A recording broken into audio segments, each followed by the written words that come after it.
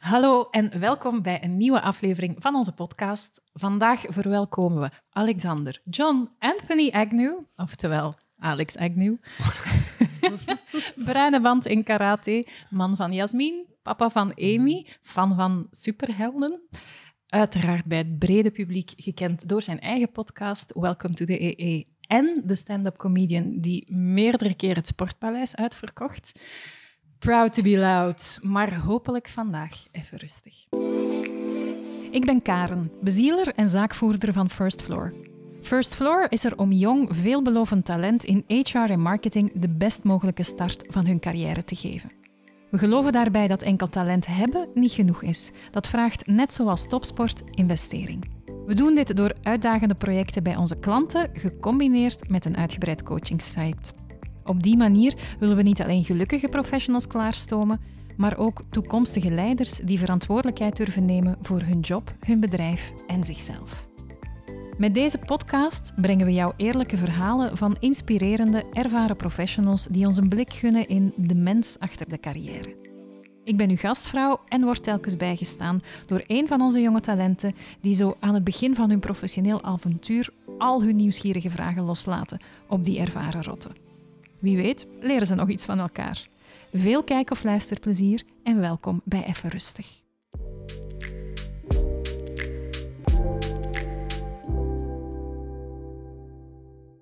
Hey, Hallo. dag Alexander. Ja, oh god, stop ermee. Ja, verschrikkelijk. Welkom. Ah, dat is een naam dat ik altijd een hekel aan had, Alexander. Dat heb ik eh, heel mijn eh, lagere school moeten meemaken. Ja.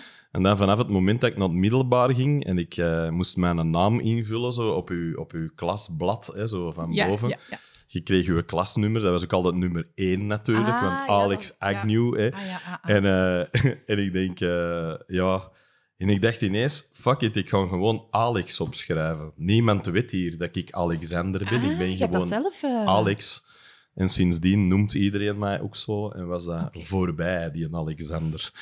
Ja, ik heb dat nooit een coole naam gevonden. Ik vond dat altijd zo te lang, te veel. Een beetje te bekakt. Een beetje Zo te beetje- Ja, beetje het, zo, het- eh, de associ- je hebt een Alexander. bepaalde associatie zo, dat met zo, Alexander. Nee, Ja. nooit Allee, van dus we dat zullen geweest. Alex nemen. Ja, Brit. ja. goed. Dag Brit. Hallo. Ik ben weer al geflankeerd Ja. door eh, een van onze jonge talenten. Heel Klopt. blij dat jij er ook bent. Dankjewel. Maar Alex, ik begin altijd met de vraag, want eh, ik doe dan zo'n intro, uiteraard bij de dingen die bij mij blijven hangen en die ik wel Mhm. tof vind. Ja. Ehm, maar als ik het aan u zou vragen, wie, wie is Alex? Wie is Alex? Ga, mij. eh, Ik vind het altijd heel moeilijk om te zeggen. Dat is, dat is, eh, kan intro's schrijven over andere mensen die een Mhm. half uur duren, maar als je dat over je eigen hoort van iemand anders, dan voel ik ook altijd hoe dat die hun eigen voelen. Als je zo heel hun palmares aframmelt, dan zie je de mensen altijd zo wat schuiven Ja. in hun stoel of zo. De Vlaamse Ja, schroom. hè, zo dat, zo, terwijl, terwijl dat, dat de reden waarom dat ik dat bijvoorbeeld koos om dat te doen in Mhm. mijn podcast, was omdat ik zelf uit mijn eigen ervaring bij talkshows en zo, vond ik dat altijd vreselijk, dat ze u, uw eigen cv laten aframmelen. Ja, dat mensen er zitten en zeggen, zeg, allee, die comedy, dat heeft dan wel wat succes. En dan denkt je, eh, ja, twaalf keer het Sportpaleis. Dat Aha. zou jij eigenlijk moeten weten, hè. ja. Allee, zo snapte. Er zijn, Ja. er zijn zo bepaalde dingen waar ik heel hard meteen voelde van... Ja, dat is hier heel lullig als je zo je eigen verwezenlijkingen moet gaan opsommen. ja klopt. Dus, dus daarom doe ik dat al in hun plaats, zodat die Ja. eigenlijk al geplaatst zijn, dat iedereen Ja. al weet, oké, die heeft veel gedaan, die kan ik weet niet hoeveel. En nu gaan we babbelen met die persoon die dat, dat allemaal gedaan heeft. Ja, klopt. Maar als ik dat vind nu dat- over mezelf moet gaan zeggen, dan weet ik weet het niet. Ja, wat ben ik? Ik ben een comedian. Hè. Ik denk dat dat vooral in mijn zijn is wat ik ben. Mhm. Ik denk dat dat het, eh, van alle dingen die ik doe, dat dat zo het meest, eh, samen met, met podcasten eigenlijk wel uitdrukt wie dat ik ben. Zo, hè. Podcast laat zien dat er ook een, een serieuze kant aan mij is. Dat ik Mhm. kan babbelen over dingen, dat ik graag luister naar mensen. Mhm. hè, wat ik wel heb moeten leren met dat podcasten. Want ik moet eerlijk zijn, ervoor luisterde ik vooral naar mezelf. Maar ik was altijd wel geïnteresseerd in mensen met een goed verhaal of zo. Mhm. Dus dat, dat zit er sowieso in, denk ik. Ehm, ja, comedian is gewoon een manier waarop dat je naar het leven kijkt. Hè. Ja. Ik denk, veel mensen denken van zichzelf dat ze een gevoel voor humor hebben, maar dat is eigenlijk niet waar. Die herkennen humor. Dat is iets anders. Hè. Je kan, iets, je, kan iets, je kan iets zeggen en jij maakt de associatie dat dat Ja. grappig is, of jij snapt dat en jij lacht. Klopt. Maar dat wil niet zeggen dat uw visie op de wereld dat dat humoristisch is. Nee, nee. Zo iemand met een echt gevoel voor humor kan naar situaties kijken waar andere mensen van zeggen ja, daar kun je niet mee lachen. Hè. En je Ah, haalt ja. daar altijd iets uit waar je van denkt, oh jawel. Ja. Zo, geeft mij tien minuten en ik over het afschuwelijkste onderwerp kan ik iets verzinnen waar ik u mee ga laten lachen. En dat is ook omdat je... Ik denk dat er zo... Allee, bij mijn comedy toch, dat is niet bij iedereen, maar bij die van mij zeker, dat vertrekt altijd van een soort inherente duisternis of zo, denk maar ik. daar gaan we subiet dan toch nog eens heel Daar even zit, op ja, er zit veel in, omdat dat natuurlijk... eh, eh, Als je vraagt wie is Alex, Alex is niet zo gelukkig hè, in zijn kop. Eh, nooit geweest, als Mhm. kind ook niet. Altijd een beetje een buitenbeentje en altijd Mhm. iemand dat het gevoel had dat hem, dat hem niet... Hè, zo de, hoe zeg je dat? De, de square bit in de, in de circle, zo, dat je dat er probeert in Ja, te ja, kloppen met een hamer, maar je denkt, ja, dat lukt zo niet Nee. helemaal. En ik denk dat heel veel van die dingen, ook mijn muziekkeuze, het feit dat ik into allemaal heavy muziek ben en Mhm. was, hè, dat je zo altijd contracultuur opzoekt, dat je eigenlijk altijd zo die eh, aangetrokken voelt tot een antagonist in een verhaal Ja. en nooit de protagonist, omdat Ja. je die te saai vindt. Ja, hè, zo. Ik was nooit een fan van Luke Skywalker, maar van Darth Maar van Vader. Darth Bij mij Vader was het nooit. He-Man, maar Skeletor. hè. Ik vond altijd de, de bad guy de interessantste, omdat hij altijd een motivatie had die mij leuker leek dan ik strijd voor het recht. Hè, zo, dat is altijd zo wat, ja, ja, ja. Zo, dus ik, ik, ik, en die had, die had vooral ook geen regeltjes. Dat vind Nee. ik altijd heel tof. De bad En guy heeft geen regels. Los hè. van wat je zegt, van die, die, de, dat die vaak de anti vertegenwoordigen, vind ik gewoon de bad guys vaak ook gewoon de interessantste karakters. Want Ja, daar zit die zien er meestal ook cooler achter. Ja, dat is waar. Er is, al- die hebben ook altijd een betere stijl. Allee, er is altijd zoiets aan dat ik denk, ja, de, de slechterik is altijd... Je hebt een paar uitzonderingen zo. Zo stijlvolle helden. James Bond is een stijlvolle Dat held. Hè. Maar dat is ook een beetje een anti-held. Hè, want dat is eigenlijk ook... Dat is een... een hoe zeg je dat? Dat is een, dat is een moordenaar. Hè. Ja, Want veel mensen zeggen, ja, de oude James Bond-films zijn nogal vrouwenvriendelijk. En denk ik, dat is nog het minste aan die zijn persoonlijkheid. Zo, er waren nog veel andere dingen aan die gast die niet zo tof waren. ja. En dat maakt je dan ook weer interessant, omdat dat iemand is dat zo moreel ambigu Mhm. is. En dat vind ik ook Mhm. altijd interessante figuren. Dus ik denk dat dat iets is dat mij altijd heeft aangetrokken, van kleins af aan. En ehm, mijn moeder zei dat ook altijd tegen mij, van ah, al die lelijke dingen en monsters en slechterikken, dat is het enige dat je goed vindt. En ik had altijd zoiets, ja, ik weet ook niet waarom dat, dat mij aantrok, hè, of Mhm. waarom dat ik, dat ik daar herkenning in vond. Ah, wel, ik het zal zal ook zo een zeggen. stukje Ja. iets zijn zal- dat resoneert Ja, of ja, zo ja, op dat moment, wat dat normaal gezien in de Vlaamse goedgemeente niet altijd even... eh, Maar wie Zeg. is Alex Agnew? Jesus Christ. We zijn dus al op... moet jij mij vertellen. Ik zal dat straks aan doen. Hè? Dus comedian hebben we al ook wel. Hè? Met de superhelden, vooral de anti-held dan. Ehm Ja. Alright, Mhm. al interessant. Maar zeg Brit, hier ben je dan. Ja. Ja, Mhm. en Ja. jij bent eh, natuurlijk een van de collega's van ons, maar eh, aan u dezelfde vraag. Hè? Wie is Brit? Ehm, ik ben Brit. Ik ben 26 jaar. Ehm, een spring in het veld, als ik dat mag zeggen. Mhm. En altijd mijn enthousiaste zelf. Ook al is dat in mijn hoofd misschien niet altijd zo. Ehm, ik kom altijd naar buiten wel als eh, met een lach op mijn gezicht. Ehm, of als iemand enthousiast. Ehm, Dat kan ik beamen. Ja, zeker. Mhm. Ehm, wie ik ben daarnaast is ook iemand dat wel altijd een beetje zoekende is, Mhm. denk ik. Ehm, om daar een beeld over te geven. Ik ben afgestudeerd in orthopedagogie eh met afstudeerrichting toegepaste jeugdcriminologie. en ik dacht, ik ga al mijn stappen zetten in de jeugdzorg. Nee, dat heeft helemaal niet zo lang geduurd. Ehm, ik heb heel lang moeten zoeken Mhm. wat ik ging studeren, wat ik ging doen. En dan uiteindelijk geslaagd in één opleiding waar ik echt blij voor ben. Uh, maar dan toch de stap gemaakt Mhm. uh, naar HR-consultant. Um, waarom? Ik heb altijd een interesse gehad in de mens. Ik vind de mens interessant gewoon om die te leren kennen, je authentieke zelf eh, te ontdekken. En ook omdat ik vind met mensen werken niet altijd werken, als ik dat mag zeggen. Nee. Omdat ik gewoon daarbij mezelf kan zijn en door gewoon een babbeltje te slaan of er iets stof bij te plakken, ehm, komt dat eigenlijk altijd van zichzelf naar boven. En dat is een van de redenen waarom ik daarvoor... En dan toch Ben de, gegaan. de grote stap naar de bedrijfswereld. Want het is Ja. toch een andere wereld. hè? Ja, het is een heel andere wereld. Dat Ja. wel. En valt het mee? Want hoe lang? Een jaar nu ongeveer? Een jaar, ja. Eh, van november 22 ben ik in dienst gegaan. eh, en ik zit nu aan mijn derde project. Ehm, ik heb drie heel verschillende projecten Mhm. gehad. Ehm, waaronder echt ene corporate, waar ik dacht, "Brr, zijn dat dan vlakke mensen? Maar dat is totaal niet waar, want ik heb ook altijd zo'n beetje een vooroordeel steken, maar met ja, Mhm. bewuste doel van, dan gaat dat allemaal keigoed meevallen. En dan nu zit ik eh, bij Resilient Security als een fulltime eh, project. Dat is een cybersecurity bedrijf. En dan dacht ik ook, nee, IT-mensen dan een hele dag naar hun scherm staren. Please don't! Maar dat blijkt dus ook totaal niet zo te zijn. Super toffe mannen. Ik amuseer mij echt.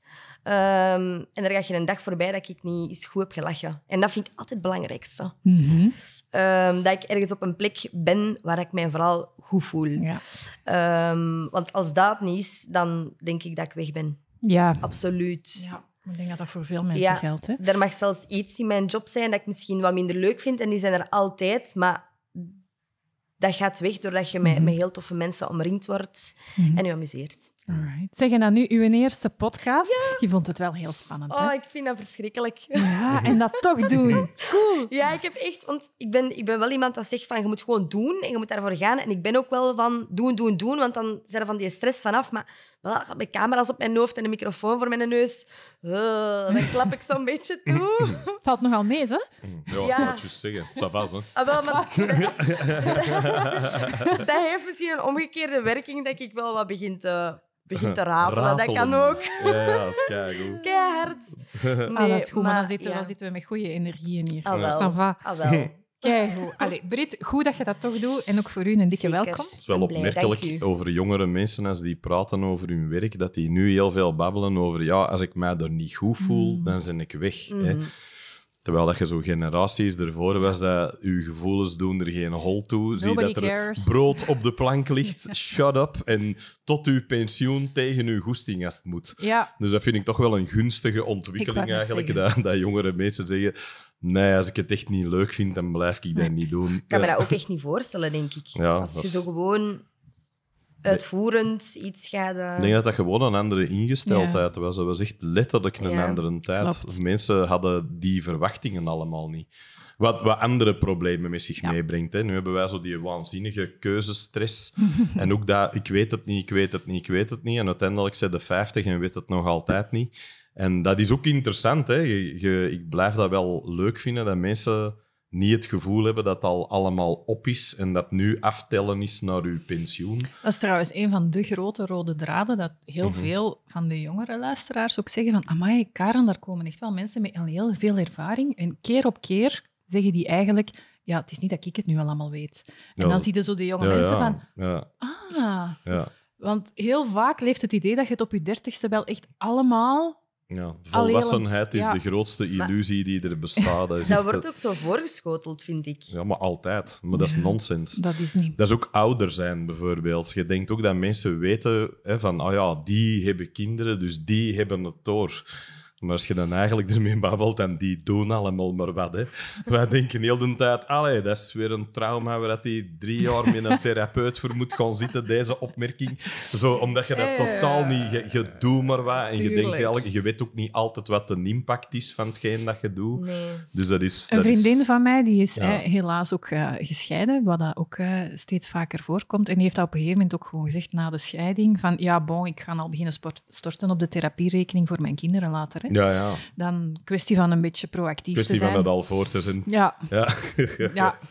Dus ja, Ja. maar inderdaad. Zeg, maar Alex, ehm, de reden dat ik u ehm, heb uitgenodigd is omdat ik... eh, Ja, wat was de reden? Ja, eigenlijk? omdat wat ik- Zit, wat zit ik ja, hier nu te doen? ja. hè?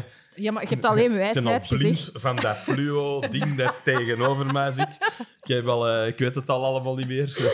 Er liggen zo vier mellowcakes mij aan te staren, zo, dat je denkt... Je mocht er er eentje van Ja, pakken. ik wil dat nog niet doen. Nee, ik vind het oké. te mooi voor naar te kijken. Allee ik, wil, dan. ik wil dat, dat perfect Het symmetrisch beeld Ja, niet kapot maken. Zo. Eh, Maar dus, de reden dat ik jou heb uitgenodigd. Eigenlijk de reden van de podcast ondertussen, hè, want we zitten aan het derde seizoen nu, mhm. is vooral om zo een beetje de meer hè, ervaren, gevestigde eh, mensen uit allerlei achter- achtergronden eens een eerlijk verhaal eh, komen vertellen. Dan komt daar zo iemand spring in het veld fluo tegenover zitten die mhm. waarschijnlijk wel wat vragen heeft. Dus die dynamiek is super tof, maar vooral om is zo niet gewoon de ene na tien stappen naar succes podcast.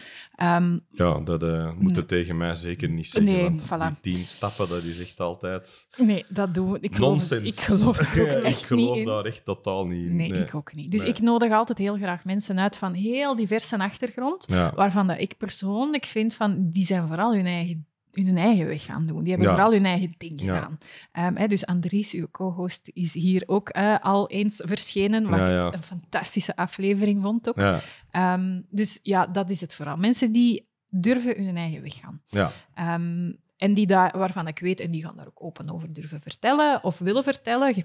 En dan zetten we daar iemand als een Brit bij. En voilà, vandaar. oké. Dus, maar als we dan zo eens kijken naar uw verhaal, wat ik ook altijd een toffe vraag vind, is van waar is dat eigenlijk voor u begonnen? Want dat is ook voor iedereen anders. Als je Goh. zo terugkijkt, waar zeg je van, ja, dat was wel zo een moment dat ik een afslag heb genomen dat toch wel wat het een en het ander bepaald heeft. Ja, bij mij, ik ben een laadbloeier hè, in alles eigenlijk. Ik, ben, ik wist eigenlijk al heel jong wat ik wou zijn, maar ehm, denk toen ik, eh, ik heb al vaker gezegd, maar toen ik 11 jaar oud was, dan zag ik eh, Delirious van Eddie Murphy. Ja, zij- die is een stand-up comedy Ja. show. Eh, die kende die toen als acteur vooral. ik hè, van, hem vooral van als films acteur, als, ja. hè, toen was dat Beverly Hills en Cop. Coming en- to en- America. Dat was en- toen nog niet uit. Dus Ah, dat, nee, was, oké. dat was echt begin, begin van die zijn carrière. Dus ik denk dat hij echt nog maar drie of vier films had.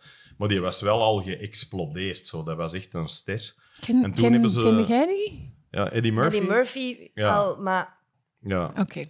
Maar dat, dat, de naam... dat, ja, En- daar Ja. blijft het wel bij. Ja, ja, maar ja, dat we is- verraden onze leeftijd Ja, hier. voilà. eh, er, is, er is inderdaad een verschil, maar dat... hè, en ik weet nog dat, dat, dat, ik, dat toen ik... Ik zag een klein fragment ervan op tv, van die show, dus ik ben die dan gewoon huren op, op video. Op om die video. te gaan- in, op In de, de videotheek. Videoland. Ah, wie zich dat nog herinnert. Hè. Dat is een beetje zoals Netflix, maar ze hadden niet altijd de film die dat je wou hebben. Dan kwam eraan en die was al weg. Hè. En ik was die- altijd te laat, dus ik, ik had altijd boetes Ja, om die terug te brengen. Ja, dat ook al. Of had die niet teruggespoeld en dan kreeg je het ook gezeik. Hè, want Ja. dat moest dan nog terugspoelen. My god, man, wat is dat hier? Ik kan u niet meer Maar in ieder geval, ik, ik weet dat ik toen ik dat zag, dat was voor mij een soort Big Bang of zo. Ik, ik, ik zag dat gebeuren, ik zag die op een podium staan. Want ik had ook al comedy ervoor gezien en er waren nog andere comedians die ik leuk vond, maar dat was de allereerste comedian die zich eigenlijk ehm, niet opstelde als, als een soort schlemiel, zo, hè? degene die op een podium gaat staan Ja. en zo wat onhandig wat grappen vertelt. Ja, ja, ja, ja, Maar dat was een rockster. Hè? Dat is een gast die een echt Vandaar. in een, in een, in een leren pak. En Ja. die was sexy en de vrouwen Ja. wouden die en allemaal en de venten wouden die en allemaal zijn. En die Ja, stond op het podium en die is ook enorm grappig. En ik Mhm. moest er echt heel hard ten eerste om lachen, maar ten tweede voelde ik direct, ach man, dat zou ik ook willen doen. Hè?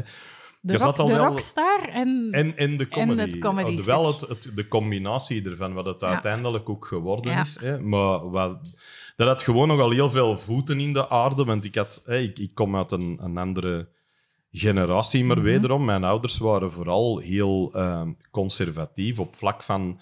Je moet een diploma gaan halen, je moet een Mhm. opleiding gaan doen. En als je zo dingen zei als acteren of op een podium staan, dan kreeg je Mhm. vooral te horen, er zit geen geld in, er zit geen toekomst in, je gaat nooit werk hebben, je gaat altijd...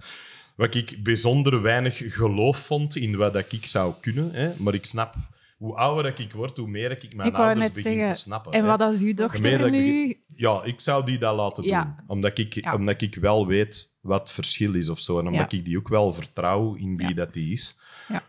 Ik ken mijn dochter eigenlijk veel beter dan dat mijn ouders mij Mm. kenden. Dat, dat merk ik ook wel heel hard. Hè. Ik vertelde niks aan mijn ouders. Dat, Nee. was ook, dat waren zo die mensen die u opvoeden. En het la- lange gesprekken met mijn vader heb ik pas gehad toen ik in de twintig was. Mhm. Die was ook niet in mij geïnteresseerd als ik een kind was.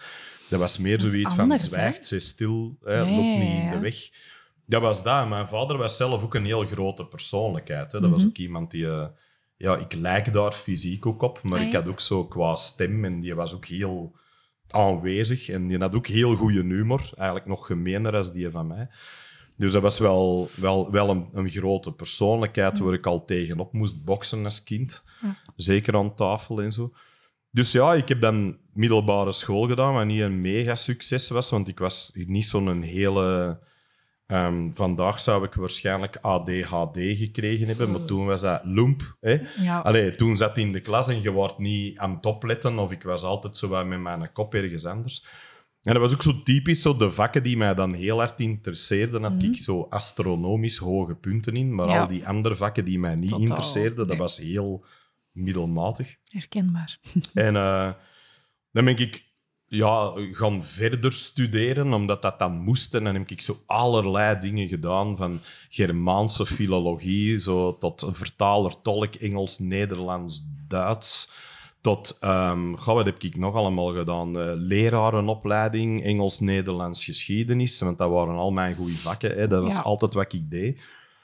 Maar dat was allemaal zo eh, een jaar en dan stoppen, een half jaar in stoppen. Mijn ouders werden er ook zot van.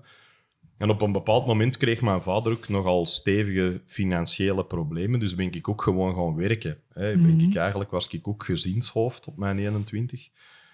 En dan voelde heel mijn leven een beetje als, voor mij dan al, als een gemiste kans of zo. Ik zat de hele tijd... ve- vaak kreeg je dat ook op de jobs waar ik werkte. En dat waren dan allemaal dingen als magazijn hier in de macro, kleren verkopen in de Nino, in, in van die winkels waar ik van denk.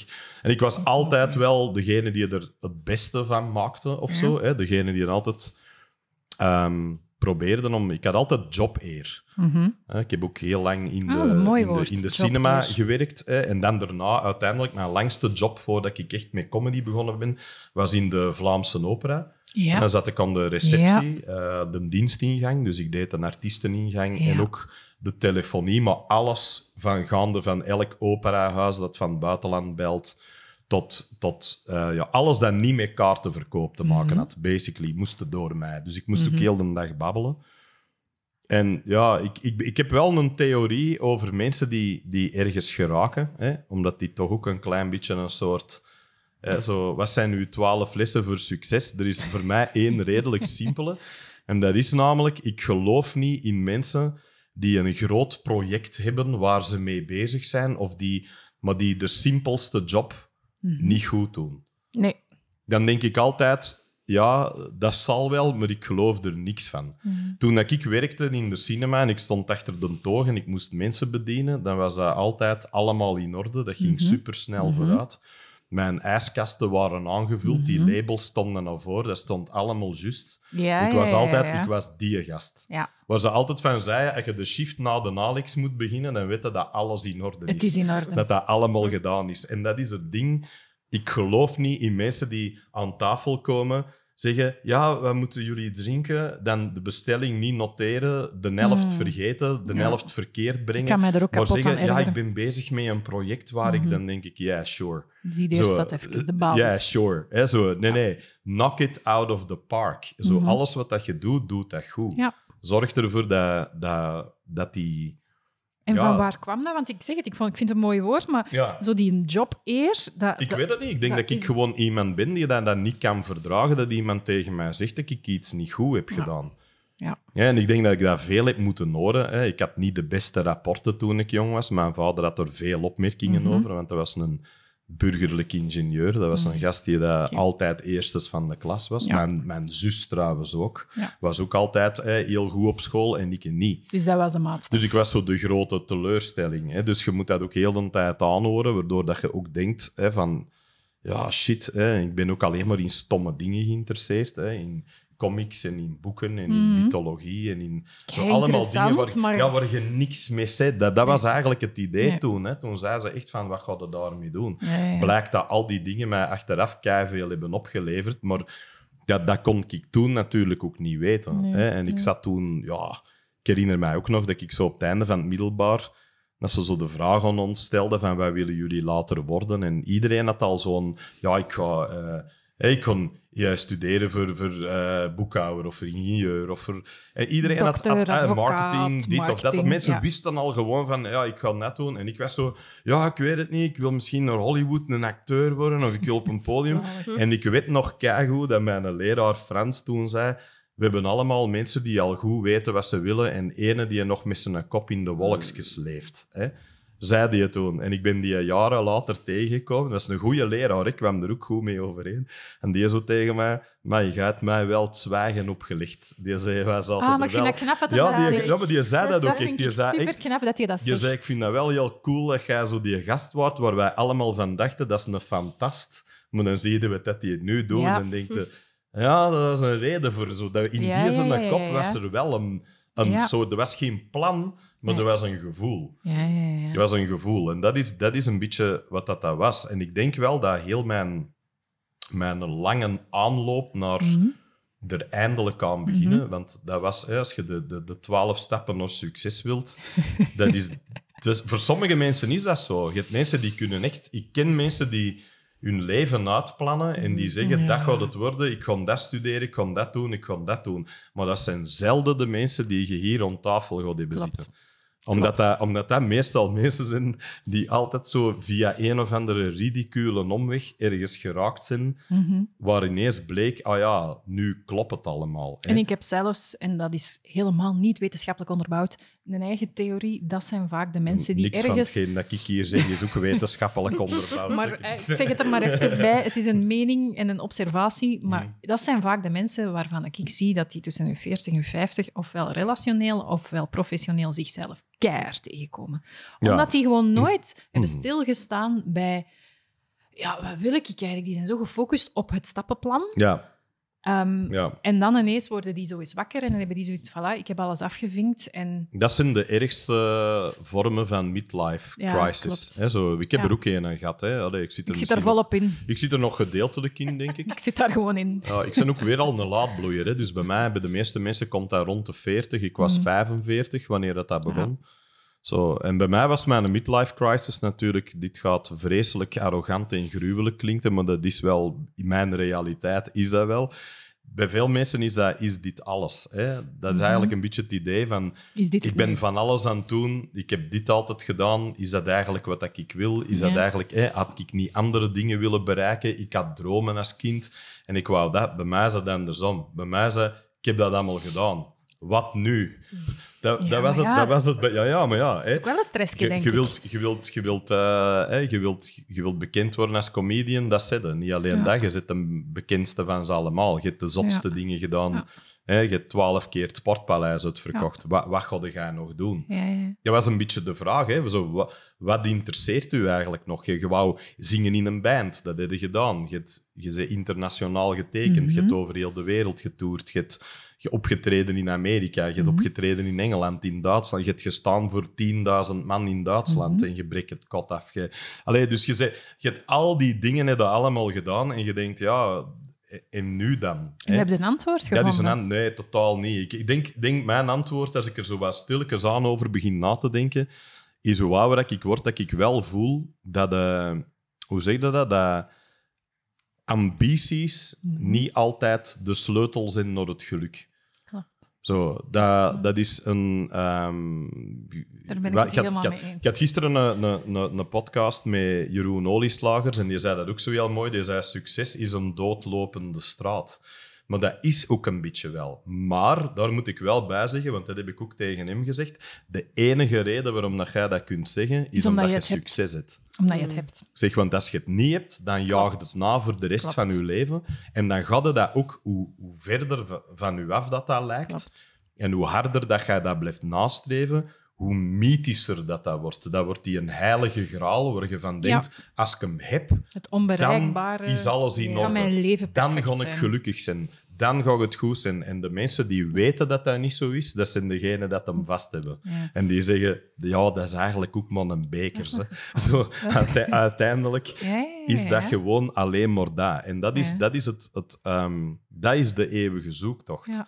Want, want succes, ik, ik snap dat, want ik wil dat ook nog altijd. Hè. Je Ik moet ook. dat ook niet... Je, wilt, je wilt voor jezelf iets, iets waarmaken, iets neerzetten. Je hebt, je hebt een bepaalde ambitie. Heb, heb jij daar zo een idee van voor jezelf? Van daar wil ik naartoe? Of, of is dat ook nog één grote Het zoektocht? stelt, het stelt mij op een of andere manier een beetje gerust dat dat hier gezegd wordt, omdat ik ben wel om altijd dat zoekende, maar ik zou Mhm. begot niet weten naar, naar, allee, Naar naar, wat? waar of Mhm. naar waar ik op zoek ben. En dan denk ik, ik laat het liever tot mij komen en we zullen wel zien. En Mhm. omdat ik de dingen wel wat vastpak als ze komen, ga ik er zelf naartoe gaan, niet meteen. Maar dat vind ik nu echt een super moeilijke vraag. Wat, wat is in godsnaam mijn ambitie? Mhm. Hoe oud zit jij eigenlijk? 26. Ja, ça va. Ik bedoel... Dan denk ik, maar dan denk ik zo, als ik dat hoor, dan denk ik, ah, dat stelt mij gerust. Ja. Dan, allee, Omdat dingen vaak, ehm, de, de dingen die echt je leven gaan veranderen, die komen vaak gewoon op je af. Hè. Mhm. Dat zijn dikwijls dingen. En ik denk wel dat, hoe moet je dat zeggen? Dat is. Goh, man, als ik, als ik zo wat theorieën moet gaan spuien, dat zijn zo'n paar dingen. Ik heb ooit eens een goed gesprek gehad daarover met de Ruben Blok van Triggerfinger. hè. Die Mhm. ken ik al heel, heel lang. Wij gaan al jaren mee. En, en die had op een bepaald moment, die waren met Triggerfinger al jaren bezig. Ook. Die had Mhm. ervoor al andere bands gehad ook nog. Hè. Angelico, Sinelli, zo. Die, die was al jaren bezig.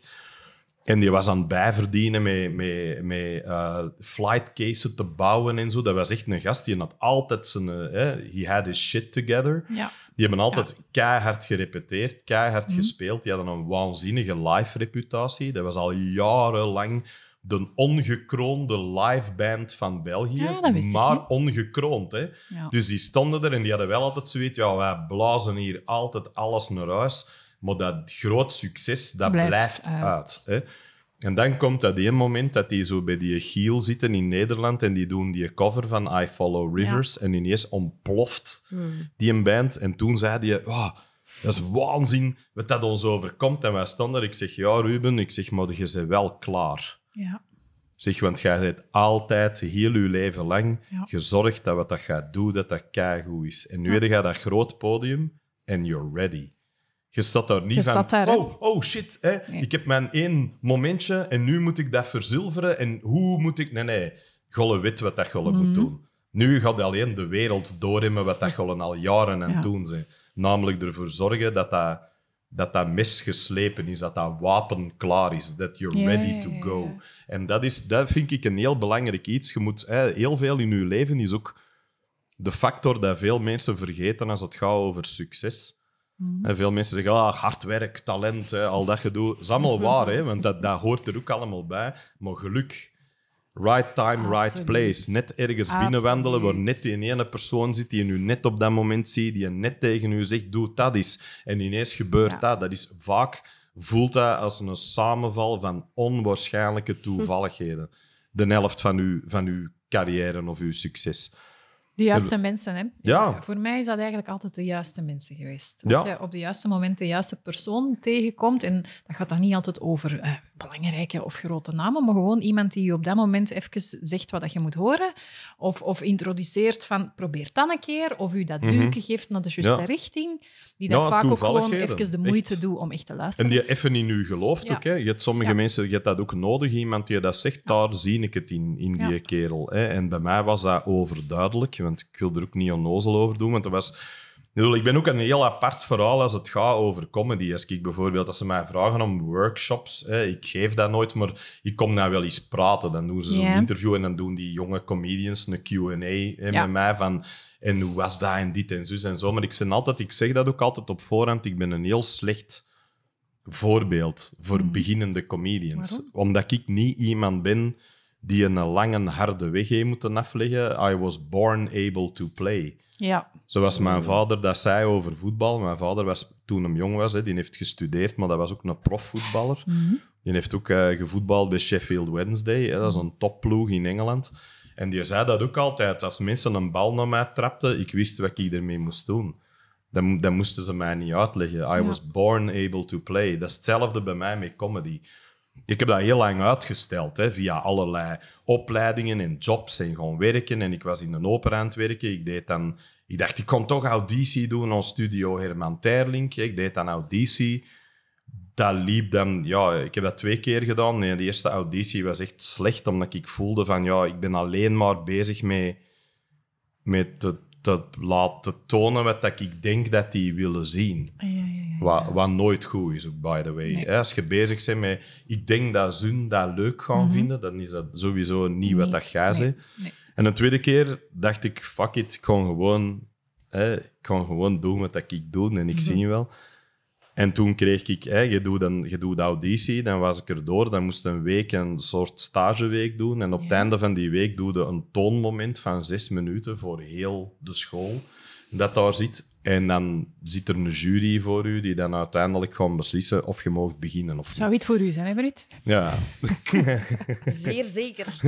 maar voor de meeste mensen niet. Hè. Ze, Nee, ze hebben nooit eens een onderzoek gedaan. Ik weet niet of het klopt, maar eh, dat waren de, de grootste angsten van de Ja, mens. Hè. Spreken voor een Top publiek, drie hè. was, nummer één was eh, spreken voor een publiek. Ja. Nummer twee was binnenkomen op een plek waar je niemand kent. En nummer drie was de dood.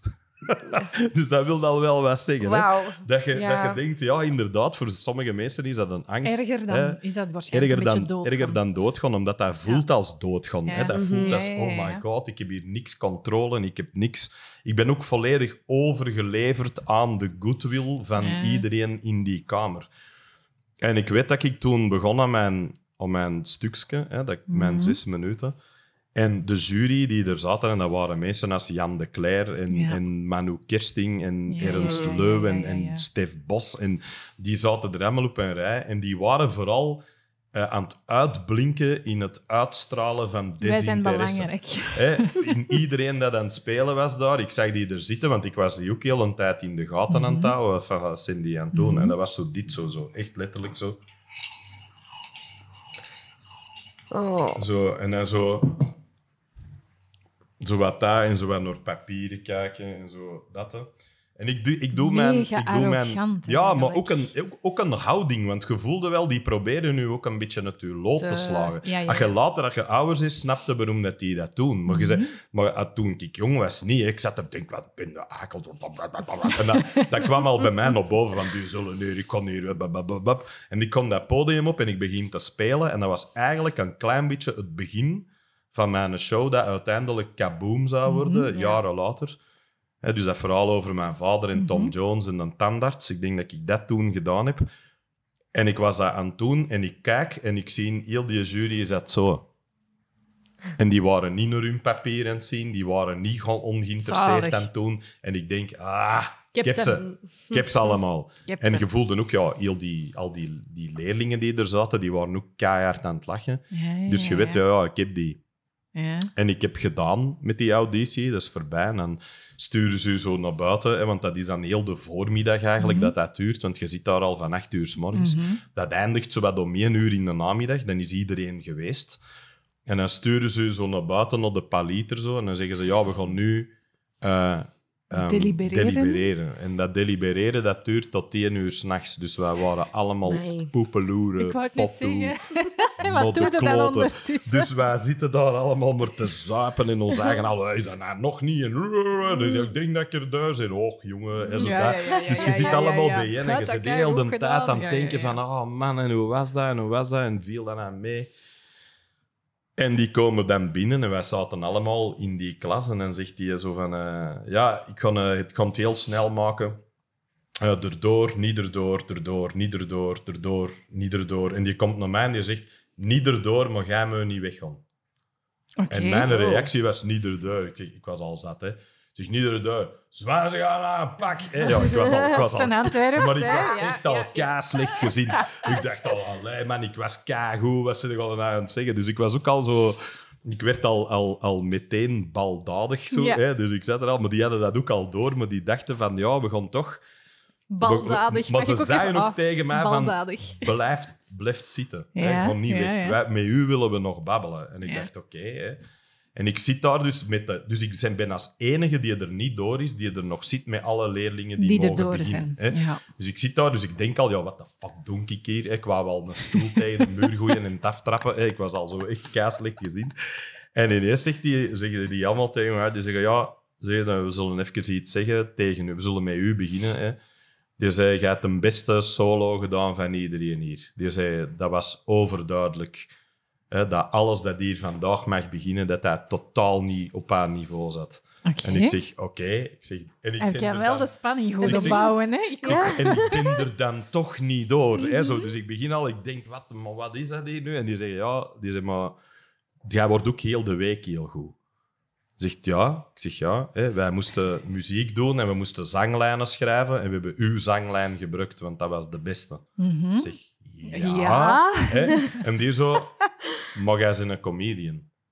Die zei, die opleiding hier, alles wat dat jij nu al zegt, gaan wij alleen maar afbreken. Wij gaan er alleen maar dingen mee doen waar dat Ja. jij eigenlijk niks mee Niet zegt. gebaat zijn. En op dat moment was ik ja, half geflatteerd, half slecht gezien, omdat ik wou beginnen Ja, want aan je een opleiding. zelf een beeld plan voor was ogen. de komende vier jaar Ja, ja, ja. doe ik dat. Hè. Ik was aan het werken in de, in de opera, maar ik had al een beetje een halve deal met de opera, van dat ik misschien part-time Ja, zou ja, ja. mogen Want werken. Want hoe oud waren jij toen? Ik was toen zes, 26 of zo, 6 of 27, Kijk, zo wat uw leeftijd. 27. Hè? Ja, en toen al hè, tien opleidingen achter de rug, eh, onwaarschijnlijk veel waardeloze, onderbetaalde jobs, want alleen maar een, een eh, middelbare schooldiploma. Ja. Hè. Ik had geen hogeschool of geen universitair diploma. Mhm. Dus mijn jobs waren zeer gelimiteerd in wat dat het zou worden. Mhm. hè. Je, weet, je weet ook zelf goed genoeg. Heb je dat diploma nodig in je leven? Die, die, die opleiding die je gedaan hebt, gedeeltelijk. Maar wat je vooral nodig hebt, is dat diploma zelf. Mhm. Ja. Om de deur dat- te openen. Waardoor dat inderdaad die deur open gaat. En dat Ja. had ik al niet. Hè. Dus Zeg, bij en mij... was dat, was dat dan de eerste keer dat iemand op dat moment tegen u zei: Jij bent een comedian? Ja, ehm, ja, ja, eigenlijk wel. Omdat die toen tegen mij zeiden, ja, jij zei... Die zeiden ook van, ja, alles wat jij hier gedaan hebt, tegen jij keigoed. Die zei, maar dat was ook... Jij, jij hebt een insteek in je kop, waar wij van voelen, ja, wij mogen dat niet... We Nee. mogen dat niet kapot maken. Nee. En achteraf gezien ben ik die heel dankbaar, hè, want ik Ja, ken, ja. ken de Manu Kersting nu redelijk goed. Ja. Ja, wij spreken van tijd tot tijd nog af voor die Mm. te gaan drinken. En ik blijf dat er altijd wel tegen zeggen. Want je blijft daar ook altijd over babbelen. Ja. Omdat je ook zo dat één ding dat die ook nooit vergeten zijn, want daar waren die ook allemaal kapot van, maar dat wist ik dus niet. Dat was, ik, had, hè, ik, heb, ik heb verteld dat ik de eerste auditie gedaan had, het jaar Mhm. ervoor, en die was eigenlijk niet zo goed. En Nee. ik was toen, Nee. hè, op het einde zei ze gewoon, je zit er niet door. Maar dat was ook zonder meer. Dat was zo Ja. heel... Dat was die auditie Dat je vooral probeerde te doen, maar dat jij dacht Ja, dat en zij ik voelde wilde. van, ja, dat klopt niet. En ik was, en ik was echt ja, kwaad, maar ik was vooral kwaad op mezelf. Omdat Mhm. ik dacht, ja, je hebt niet laten zien wie dat jij bent of wat dat je kunt. Je, je, je hebt een poging gedaan om Ja, iets ja, te zijn dat je denkt dat die Dat zij willen, willen zien. zien. Maar dat is altijd waardeloos als je dat doet. En ehm, toen kwam ik eh, terug hè, met die tweede auditie. En dan Mhm. moeten we weer die eerste dag Mhm. een stuk van jezelf brengen. Hè. Als Mhm. je kiest voor kleinkunst, wat ik koos, want het gaat ook toneel, maar dan heb je een opgelegd toneelstuk. Ja. Dat je, hè, een, Ja, ja. een monoloog die je van buiten moet leren en die je moet acteren. Maar ik ben geen acteur. Ik wil zelf dingen schrijven. Dat was heel duidelijk dat ik dat wou doen. Dus en ik had toen een stuk geschreven over mijn auditie van het jaar ervoor. en over hoe dat ik gereageerd had Oh, erop. en dat ik dat allemaal een bende eikels vond. En dat ik kwaad was en dat ik mijn eigen zat was gaan zuipen. En dat eindigde bij de hoeren. En, allee, dat was zo'n enorm Maar qua insteek is hij inderdaad nonsens verhaal. Maar ik kwam, dat, ik kwam binnengewandeld en ik zag die jury toen zitten. En die keken naar mij van... Ah, die kennen we van vorig jaar. Hè. En ik doe mijn mond open en ik begin. Ja, hè, ik deed de auditie aan eh, Herman Terlink. En je ziet die zo al zien van wat gaat die nou doen. En ja, Ja. ik zie die er beginnen doorsleuren. Maar Oh, echt, en die zaten er allemaal zo. Zalig. En die zei wel, die zei wel dat, dat, dat zegt de Manu tot op de dag van vandaag. Dat heeft hij een paar weken geleden heeft hij dat nog eens tegen mij gezegd. Dat, wij, dat, wij zo, dat, dat ik buiten Dat is wandelde. ballen hebben, hè? En die zei, ik keek naar de Ernst en, en, en de Jan de Cler keek naar, naar, naar de... Ja, wie dat, wie dat er ook allemaal zat, die keken allemaal en die zo... Holy shit, wat de hel was dat? Ja, Zo, ja. wat, een, wat een arrogant klootzakje. Maar hoe, hoeveel, Hoe hè, wat- hoe, hoeveel ballen heeft Ja, die ja, gast, ja, hè, dat. Dus dat was eigenlijk een ding dat ook was blijven hangen bij u. En dat hebben ze ook tegen mij gezegd, van ja, dat, dat zit goed bij u. En ik weet nog dat Ernst Leu toen ook één ding tegen mij heeft gezegd. Je zei, nou, als ik jou binnen twee jaar tegenkom en je zit ergens eh, op te dienen in Mhm. een of andere kroeg en je doet het niet meer, dan sla ik je van voor op je bek. Goed zo. Hè, zei hij. En ik zeg, Oké, ik zeg... eh, Deal. ik zeg, ik ben wel een Belgisch kampioen karate, dus je gaat het best mogen doen. maar, maar, maar Zelfs dat was daar wel- dan nog Ja, eigenlijk nee, gewoon nee, niet, afgeven, hè, ook daar Ja. niet. Dus, maar, ik dacht, maar ik dacht wel zo van, ik dacht, ja, oké, goed, hè, dat is wel, want dat vertrok wel vanuit een, een liefde of zo. Ik voelde Ah ja, ja, wel van bij goede intentie, hè? dat dat daarvan vertrok. Maar ja, ik wandel buiten en daar sta Maar ik dan, wou net hè. zeggen, dus hè, iemand zegt jij bent een comedian, oké, Ja. aha, maar uiteindelijk, daar staat het dan, hè, Ja. 6, 27 jaar, gaat een Ja. beeld in je hoofd, oké, dat gaat hem dan niet worden. En nu? Ja, en nu staat het daar en je bent 26, bijna 27. Ik ben aan het werken in de opera. Die job kon ik alle chance houden. Dus ik wist, Mhm. oké, ik kan mijn rekeningen betalen. En dat was een leuke job. Mhm. Ik deed dat ook graag. Hè. Ik, ik heb daar ook... Mijn sollicitatiegesprek daar was ook... Ik wil werken in een theater. En die zei, ja, maar je gaat aan de deur zitten. Ik zeg, dat interesseert mij niet, dat is een theater. en ik weet dat die gast dan wel dacht... Ah, hè, dat is ook een speciale Ja, ja, ja, gast. Dat was altijd wel zo... Dat, dat, dat ze altijd voelden, ja, dat is een... Dat, er, is, er was altijd iets met mij dat ik, ik kon mensen wel overtuigen van iets. Als ik dat wou, of als ik, als ik voelde dat ik, dat ik iets kon of zo. Hè. Ja.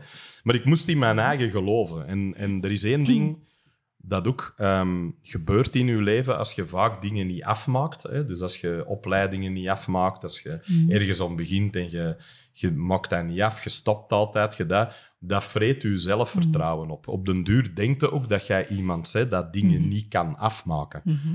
Je ziet andere mensen dat doen en je denkt altijd, ah, die hebben het allemaal voor elkaar. Mhm.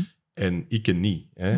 Ik vind En toen- een, een van de vorige gasten, ik denk dat Bieke Illegems was, die dat heel mooi zei van zelfvertrouwen is een spier, hè? Ja. Dat is iets dat bouwde op, maar je moet dat ook onderhouden en dat wordt ook een stukje gevormd door ervaringen. Hè? Ja, Dus- dat en klopt. dat breekt heel Dat snel terug af Dat ook. is heel hè? goed gezegd eigenlijk, want dat is exact wat dat is. Hè. Dat moet het trainen. Ja. En het, eh, het ding was, ja, na die, na die auditie had ik wel zo een gevoel van, oké, I'm on to something. Hè. Want Mhm. dat is al die mensen Mhm. Die daar zitten en die toch al veel eerste, bereikt hebben en niet de eerste, de Nee. beste zijn, Nee. naar u kijken en zeggen... Jij kunt niet. Ja, want er kwam zelfs één, één, één zin dat ik echt heb meegepakt, dat iemand zei, ja, jij zit een fenomeen. Zo. Zo, jij ziet iemand, wij zagen en wij dachten, wat de hel is dat allemaal in één persoon? Ja, wat een, wat een chaos, wat een... Ja, ja, ja, wat een, ja. wat een- die kan zingen, die kan liedjes schrijven, die kan funny zijn, maar dat is allemaal niet onder Mhm. controle. Dat is Ja. allemaal... Je had mensen die keigoed konden zingen daar en die kunnen piano spelen, die Mhm. hebben muziekschool gedaan, die hebben opleidingen. Je hebt mensen die al toneel gedaan hadden van Mhm. hun kind af aan. Je voelde dat, er zat allemaal ervaring.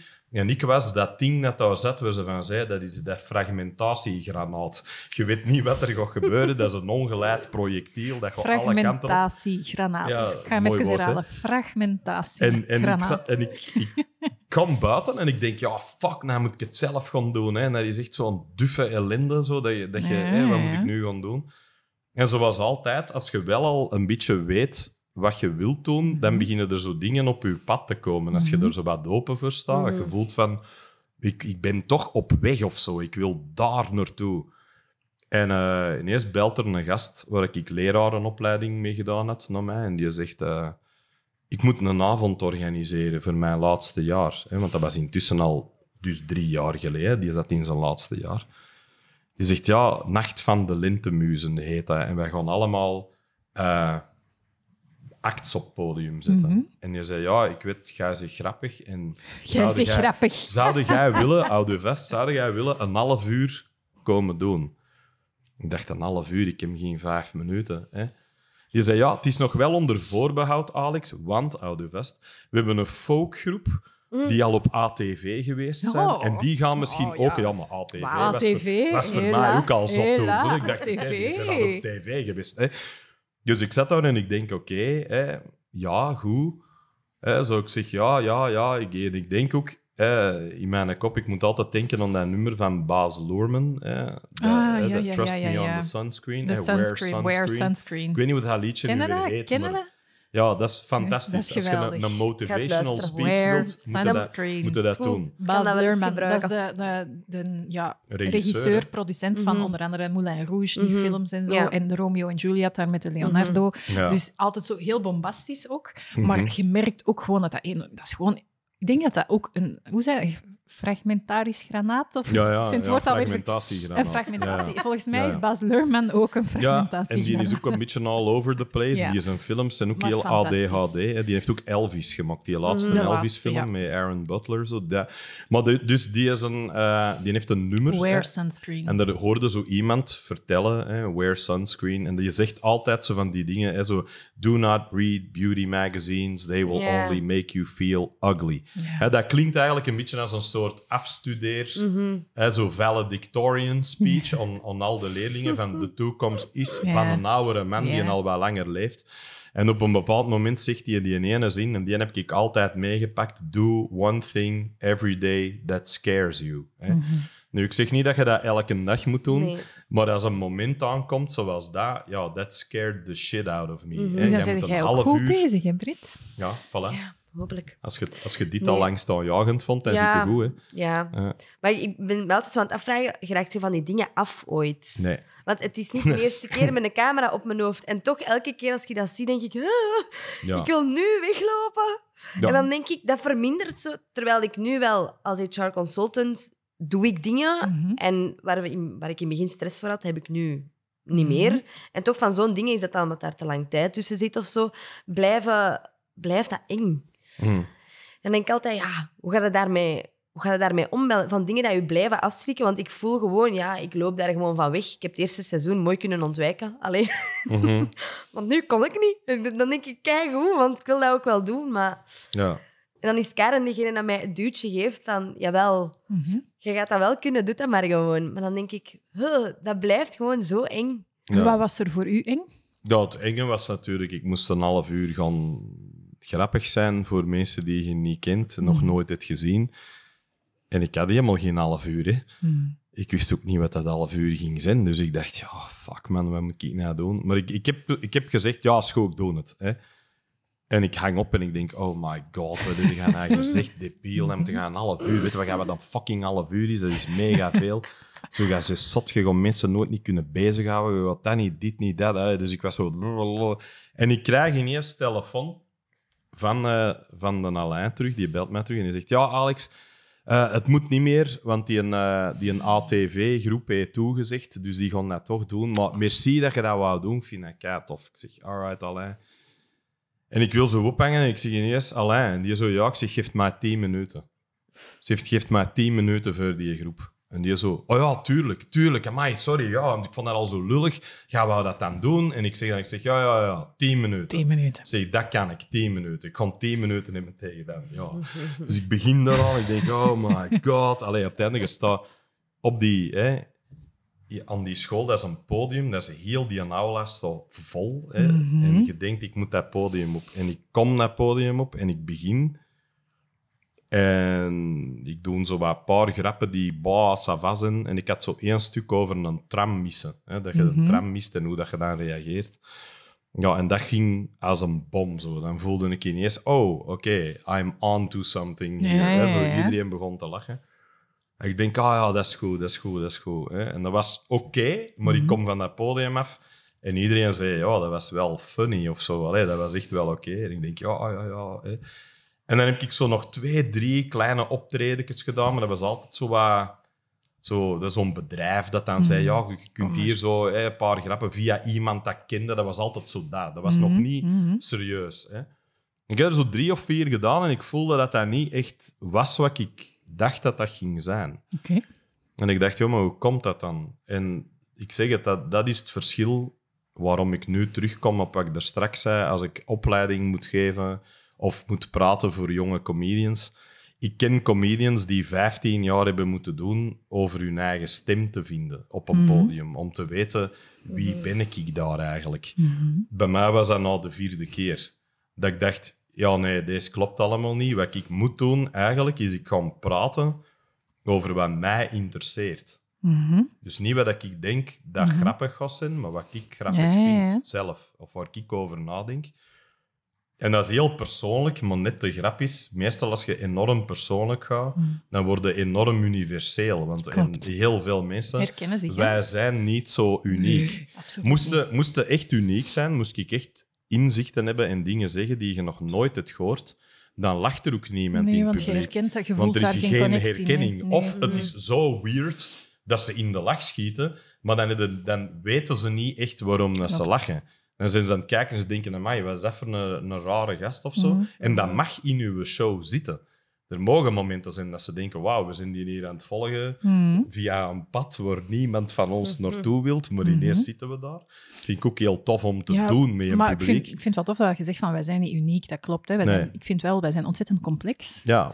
Maar we zijn niet uniek. ja, je zet We- dat ook wel, hè, want er is maar één van u en er is maar één Ja. van u. Hè. There's Mhm. one of everyone, Ja, dat is ook gewoon zo. Maar heel veel van uw gevoelens en van uw ideeën en van de Oh, dingen die je meemaakt, hè, worden niet alleen gevormd door uw maatschappij rondom Nee. u en uw vrienden, maar ook door gewoon inherente karakteristieken. Wij zijn ook een, een opeenstapeling van DNA en Mhm. erfelijkheid. En je ontkomt niet. Hè, een van de meest teleurstellende dingen dat ik ooit heb gehoord was toen ik met een geneticus babbelde. Die zei: ongeveer 50% van uw persoonlijkheid ligt al vast Oh, wanneer dat jij geboren wordt. Maar 50 Ja, misschien is het zelfs meer. Maar hij zei toen: je moet al zeker zijn dat het minstens Ja. 50% is. Dat veel dingen die dat jij doet, waar dat jij van denkt: oh, dat is mijn inzicht. Nee, nee, dat, dat al. Dat, dat al. Dat kreeg je al mee. Hè? Ja, want dat vroeg ik mij nu wel Ja. als ik zo naar uw verhaal hoor tot hiertoe. En voor iemand die dan eigenlijk toch heel vaak, zeker in die cruciale jaren op het middelbaar en vroeger te horen heeft gekregen van ja, eigenlijk doet het niet goed. ja. Van waar heb jij dan toch zo die grit gehaald? Dat weet ik niet. Dat kan ik echt niet zeggen. Maar ik denk dat dat toch een soort onwaarschijnlijk geloof was in het feit dat I was destined for greater things. Ja. Er zat zo Ja, dat denken veel mensen, hè, kop Alex? Dat, ja, dat is waar. maar- Veel maar- mensen denken. Ik denk dat iedereen dat ergens wel denkt. Waarschijnlijk. En ik denk ook dat, dat je moet ook op een bepaald moment eh zie je ook de limieten van je eigen ambitie in. Hè. Je voelt ook waar dat stopt. Hè. Bij iedereen stopt het op een bepaalde plek. Ook ongeacht hoe ver... Maar hè, je, je hebt nog zo die mooie uitspraak, shoot for the moon and you might land on a star. Hè. Ja, dat is ook zo, als je ambitie daar ligt, Mhm. maar je gerokt er niet, dan gerokt er misschien al wel daar. En Mhm. dan stond het toch, ligt toch iedereen achter u. En dat toch zoiets, ah, oké, dus dat dan toch. Hè? Maar ik weet niet waar dat Maar vandaan ik, ik kwam. hoor, dat want ik hoor in uw verhaal Ja. toch ook wel heel wat momenten waarop dat jij je eigenlijk ook gewoon keihard uit het lood had kunnen laten slagen. Ja, Maar en- op een of andere manier is het, hoort het alsof dat, je juist elke keer meer dingen gaf van... Ja, ik denk, ik denk dat, dan, dat, dan, dat, ik, dat ik heel hard gemerkt heb. Er zijn een paar dingen dat mijn vader ooit tegen mij zei, die ook altijd zijn blijven hangen. Ik ben bijvoorbeeld, mijn geboorte was, was een heel moeilijk moment. Ja. Want ik ben geboren met een vlies rond mijn Vlies, arm. Ja. Mijn, mijn vingers zitten ook aan Mhm. elkaar vast, die kleine vingertjes. En dat was ook, dat hand was donkerblauw. Dus ze Mhm. dachten dat ze misschien moeten amputeren. En omdat ik ook zo klein was, zei mijn, v- zeiden ze ook tegen mijn vader: het kan zijn dat hij het niet overleeft. Want hij is Mhm. echt te klein. Hè. Hij is Mhm. nog maar net geboren. Dus dat was eigenlijk nogal traumatisch voor mijn ouders. Die, Mhm. hè, maar mijn ouders komen van een andere generatie, hè, oorlogsgeneratie. Ja. Die doen niet om trauma's. Hè. Die, dat- die vreten hun eigen van binnen kapot. Ja, maar er zal nooit iemand iets Trauma's, van dat is een luxe probleem. Ja, we zijn allemaal. Hè. zo, zo, shut up and eat your food. Hè, zo dat. Dus dat was een beetje dat, maar, maar, maar tegelijkertijd, ja, die, die hebben daar wel uiteraard mee gezeten. Maar mijn Mhm. vader zei wel tegen mij, van, vanaf, vanaf dat ik klein was, die zei, you were born to fight. Zo, Ja. jij vocht. Als Ja. kind zag je dat, die is vecht. Hè. Ja. Mhm. En heel mijn leven lang, wat, wat trok mij ook aan? Gevechtsport. Hè. Wat, wat Mhm. vond ik leuk? Boksen. Wat vond ik leuk? Karate, kickboksen, al dat soort dingen. Ik ben dat ook gaan doen. Bleek ook dat als iemand op mijn gezicht sloeg in de, in de gevechtsport, dat ik niet ging lopen, maar dat ik voren ging. Dat ik, niet, dat ik altijd de neiging heb om te vechten. Ja, ja, Ja, wat ze nu nog tegen mij zeggen, want ik train sinds een jaar of vier boksen. En mijn trainers die zeggen ook altijd tegen mij: Alex, je kunt ook een stap achteruit zetten. Mhm. Je kunt die ook laten komen. Je moet niet altijd. Jij, Dus daar zit wel iets heel instinctief, knokker. hè? Je zegt, zit als je rokt, boom, dan zie je om Ja. je ogen, die moet dood. Ja. Dan ga jij Ja. for the kill. Dan moet dat tassen. En ik denk dat dat altijd een beetje in mij gezeten Mhm. heeft van... Als ik een klop krijg, dat Mhm. ik denk, ja, oké, dan moet ik Mhm. moet ik iets terug doen. Hè? En toen, ja, na die, na die, Na die vier keer. vier keer zo wat- Ja. ja, ik, ik- het is ook heel vaag, want ik herinner mij er nog maar heel weinig van, maar het was allemaal zo nogal je gaat niet verschil maken met hetgeen dat je daar zegt. Dat was Mm. hetgeen dat mij vooral voelde, dat, dat ik heel hard voelde. En toen was er een open podium ehm, in, een, in een café, dat nu heet dat de Charleroi op het Zuid, maar dat was, vroeger was dat de Seine. Ja, dat wist Zo'n beetje zo'n rockkroeg eigenlijk was dat. En, Ja. en dat had een podium. En daar eh, deden ze iedere eerste eh, zondag van de maand eh, de sprekende ezels, zo weten dat. Het was eigenlijk begonnen als een soort titel. poëzie was dat begonnen. Dus jonge mensen die poëzie komen brengen Mhm. op een podium, omdat een aantal van die vaste klanten die daar zaten, die waren ermee bezig en die zeiden altijd, oh, dat, is altijd dat zit altijd in die, in die duffe, kunstige, saaie sfeer. Waarom doen we dat niet op een podium? En we doen zo wat slam poetry of we doen wat dat. En dan Mhm. zei er ineens een, ja, maar ik kan ook wat gitaar spelen. Ja, kom, dan ga je dan. Ja, ja. En dus dat was dat. Hè. Mhm. Dat was eigenlijk een soort open podium. En eh, mijn zus die kwam daar geregeld en die zei tegen mij... Ja, je moet dat eens doen. Je moet je daar eens voor inschrijven. En ik dacht, fuck it, ik kon het doen. Hè. Schrijf mij in. Dat moet ik. Dat moet ik gaan. Dat moet ik gaan. Schrijf mij in, een week ervoor, diarree elke dag. Dat ik denk, ah, dat gaat verschrikkelijk zijn. Maar ik had wel een setje zo. Ik had wel iets dat ik denk, ja, dat zou het misschien wel eens kunnen zijn. Mhm. Ik kan toch weer terug naar dat verhaal over mijn vader en over dat ik een heavy metal fan ben en we Mhm. lachen met heavy metal. En ik Mhm. heb een stuk over Star Wars, want dat vind ik ook grappig. En ik doe niets over Star Wars.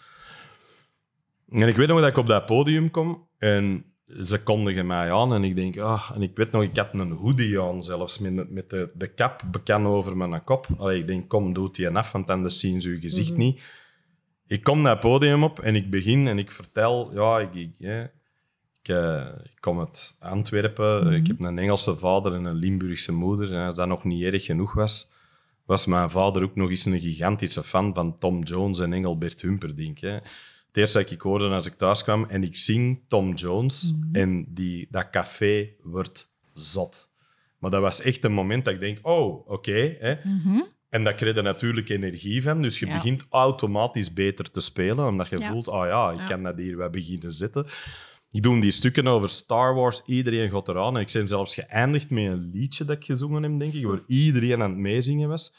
En dat eindigt, hè, dat ik denk, dat moet, dat moet vijf minuten geweest zijn, maar dat leek een half uur, of, of ik weet het niet. Ik kan dat niet meer zeggen wat dat was, want dat was zo'n moment.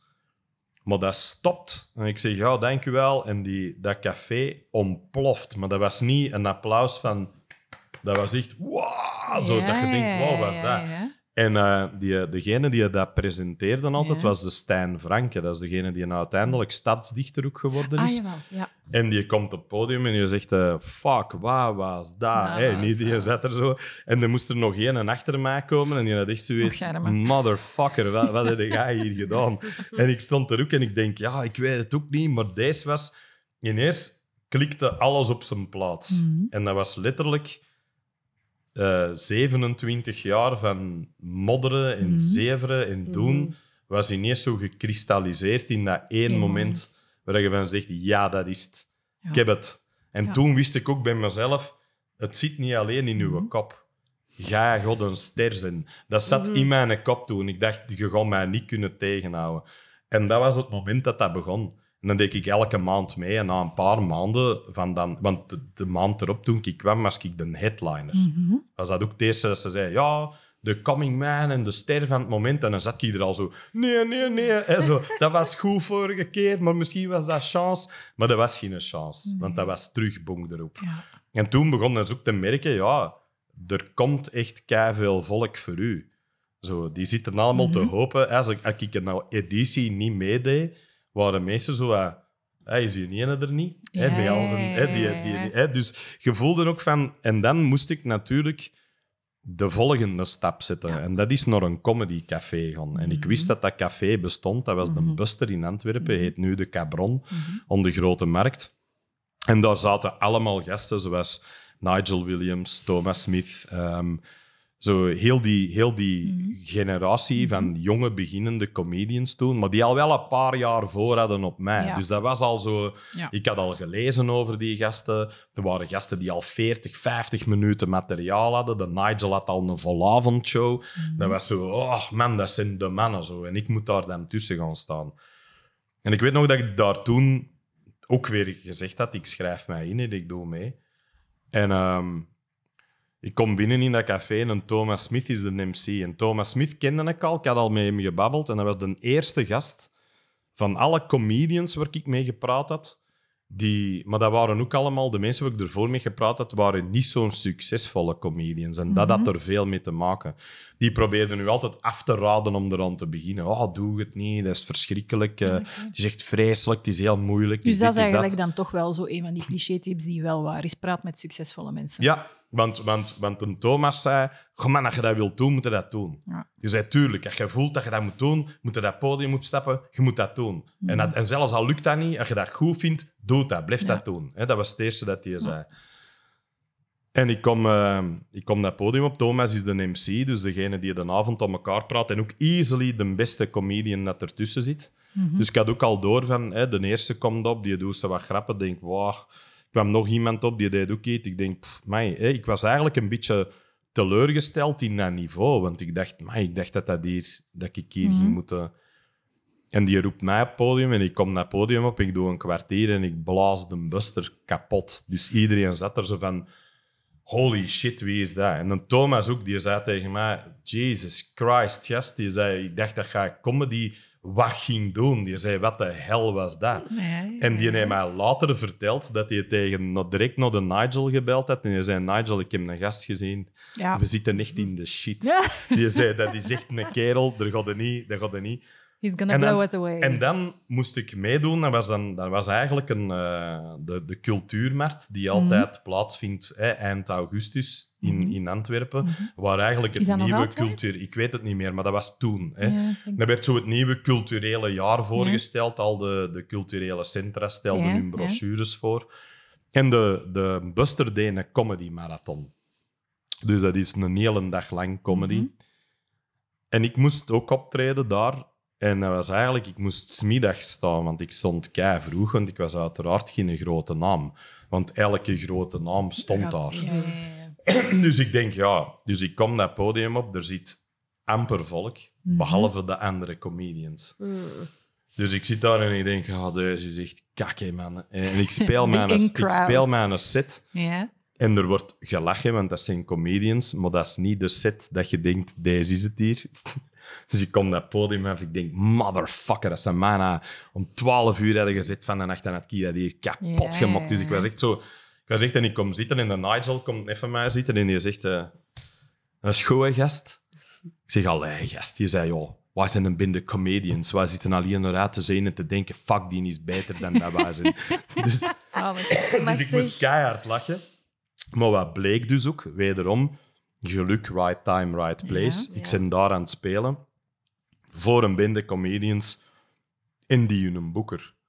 Mhm. En die zegt, Mhm. Alex, Let's ik heb swap. eh, een paar showjes staan waar je het voorprogramma kunt gaan doen. Daar in Mhm. dat café, daar in dat café. Ga er mee? Ik zeg, ja, tuurlijk. Mhm. Of course doe ik dat. En toen begon dat. Hè. Toen voelde ik van, ah, oké, ik krijg hier, krijg hier mijn momenten. En dan was er nog zo'n moment, dat vergeet ik ook nooit. Dat was ehm, de Spot Night in de Boerla, Schouwburg. Dat was een organisatie, die heette Spitspot. Mhm. En die organiseerde toen een, comedy night in een boerla. Maar je moet ook weten, dat was de periode. Je had een aantal tours door culturele centra. Een daarvan was Bonjour Micro. Dat werd georganiseerd door het boekingskantoor waar ik toen ook bij zat. hè. Eigenlijk dankzij die dat één optreden daar Ja, ja, op de cultuurmarkt. En dan twee optredens in een En café. Het je gezegd, ik kon nu beginnen boeken. Ja. Dus ik begon te spelen. En die Spot Night komt, dat is de grootste comedy night hè, in de Boerla Schouwburg. Mhm. Helemaal uitverkocht. Waar ik mensen voor de eerste keer heb gezien als Gunther Lamoot, Mhm. eh, Wim Helsen. Ehm Gabier Guzman was toen een headliner. Was een Nederlander die net het Leids Cabaret Festival dat jaar Ja. gewonnen had. En ehm, ik zit daar en ik kom binnengewandeld en mijn boeker zit daar. En ik zeg tegen mijn boeker, ik zeg, hoe komt hoe kom het dat ik hier niet staan? Mhm. En die zegt tegen mij, Alex, dat is nog een beetje te vroeg voor u. Ik zeg, te vroeg? Ik zeg, volgend jaar headline ik dat hier. En die kijkt en die lacht, ja, ha, ha, ha. En iedereen Aha, rondom mij lacht ook een beetje van, oké, hè, die zegt dat hier, maar goed. En ik zit daar te kijken en ik zie Gunther Lamoot. Ik denk, man, ja, die gast is grappig, dat is, dat is goed. Er komen nog een paar comedians, va, dat is oké, dat is oké. Dan kwam Wim Helsen. En ik denk, ah, dat is een hele goeie. Zo, dat is iets anders. Ja, dat, is een ja, ander, ja, dat is een ander niveau. Dat zie je direct. Zeg maar, Ja. als je dan zo'n uitspraak doet, volgend jaar ga ik dat hier headlinen, Ja. is dat dan op dat moment wat stoere grootspraak? Of meende jij dat echt? Geloofde jij dat dan ook Combinatie echt? van de twee. Ja, je gelooft dat Dat dan is een echt? klein beetje, hoe zeg je dat? Fake it till you make it of Ja, zo. ja. Think, think it and be it. Ja, ja, ja. Als je het niet kunt zien, kun je het niet zijn. Nee, oké. Dat is een beetje Ja, dat. dat is dus een wat combinatie. Arnold Schwarzenegger ook altijd zegt. Hè. Maar zijn, zijn grootste kracht, zei hij altijd, was I was able to visualize where I wanted to be.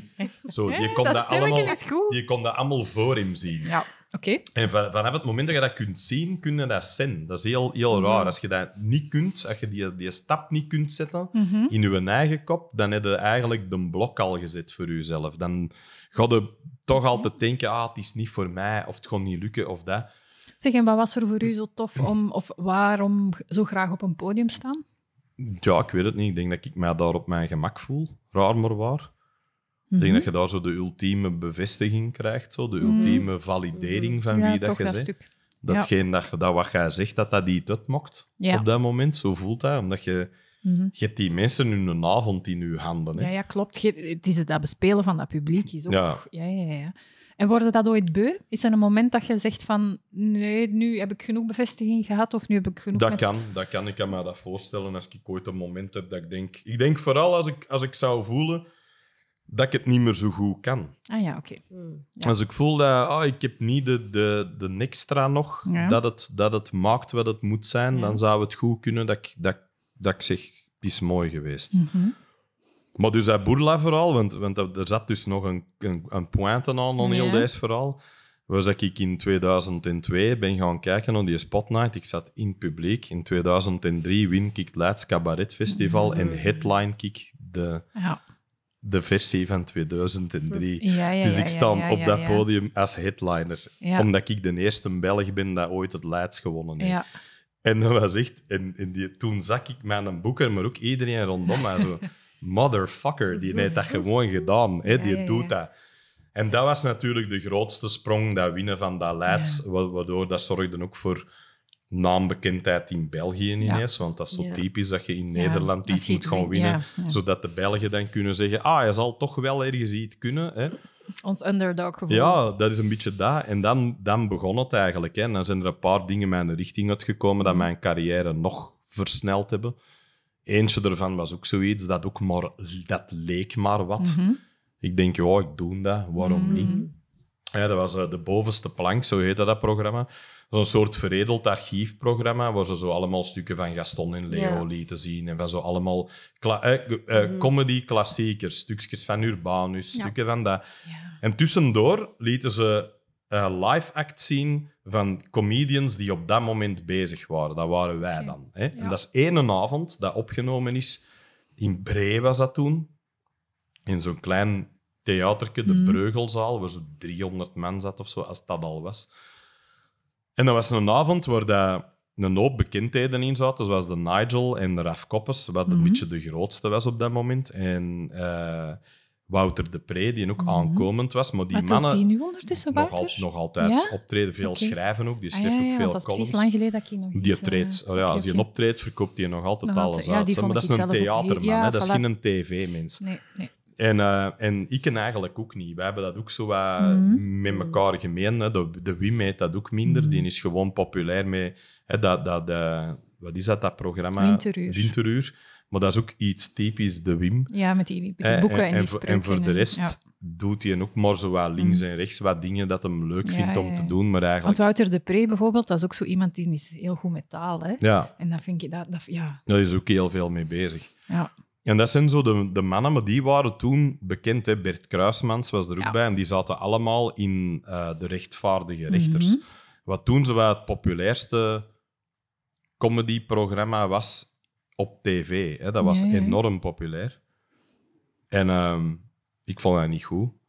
Want ik was echt een kei arrogant eikeltje. Hè, dus Maar ik begin het echt wel te denken. Ze. Nou, ik dacht echt wel. Hè, zo, ugh. En ik moest toen meedoen. En ik weet dat die mensen die die avond organiseerden, dat waren comedy-organisatoren, maar dat was voor een tv-programma. En een tv kent al die BV's. Ja.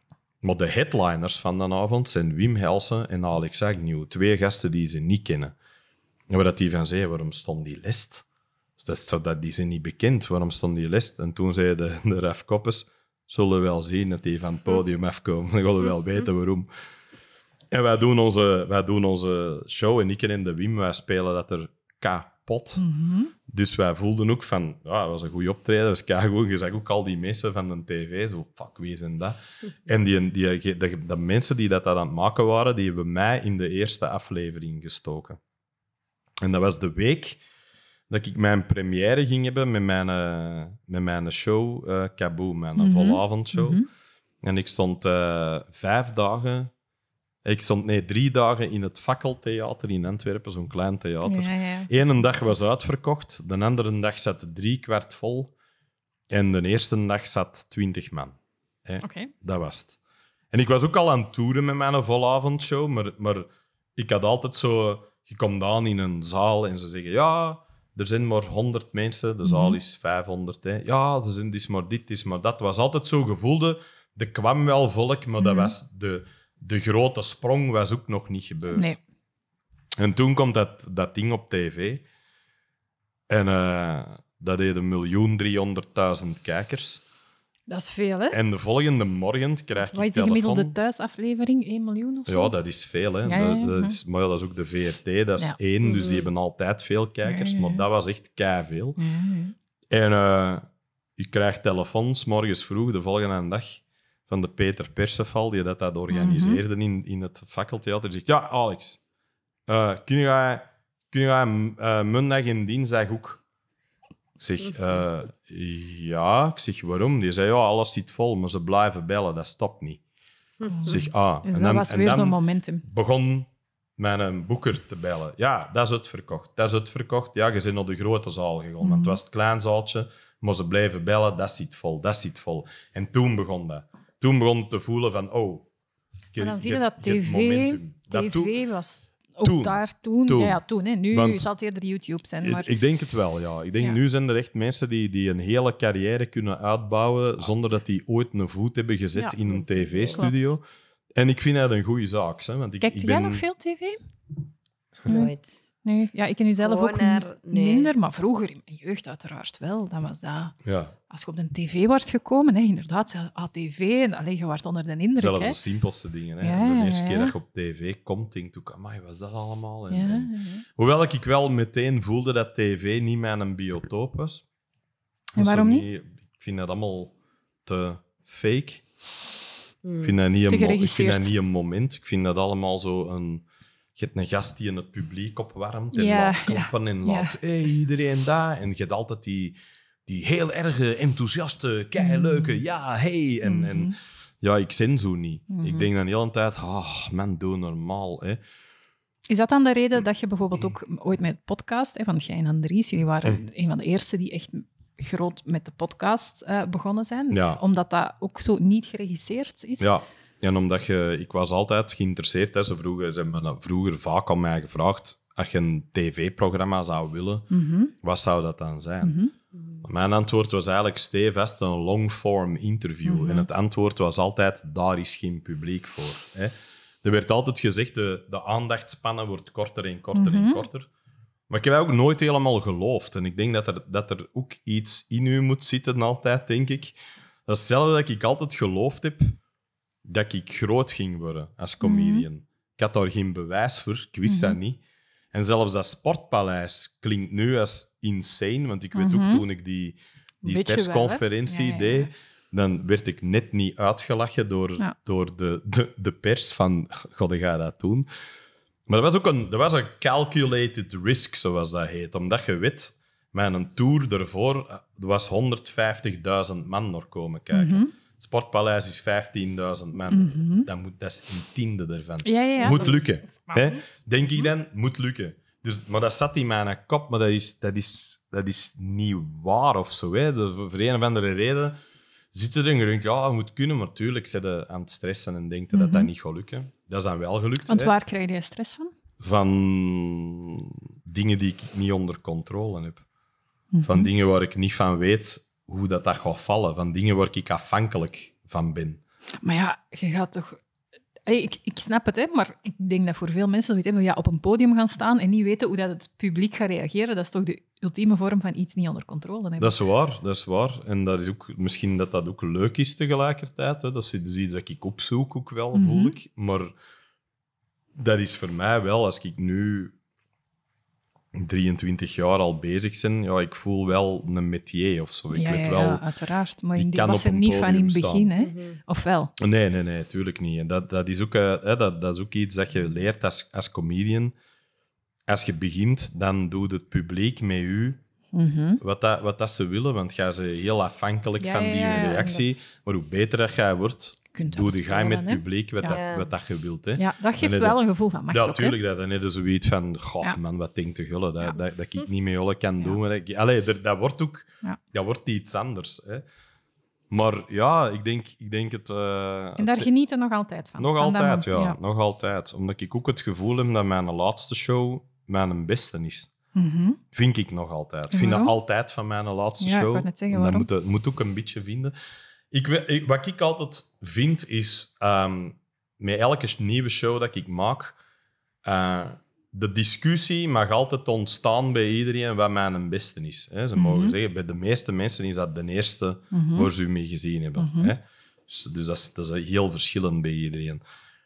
En je kunt zeggen, dat mag altijd een discussie zijn. Vind ze een derde de beste? Ik vind de eerste de beste. Ik vind de... Mhm. Maar wat nooit mag gebeuren, is... Ja, die leste was wel echt veel minder goed. Nee, Die discussie mag er niet zijn. klopt. Er moeten mensen zijn die zeggen dat ze een leste vinden de beste.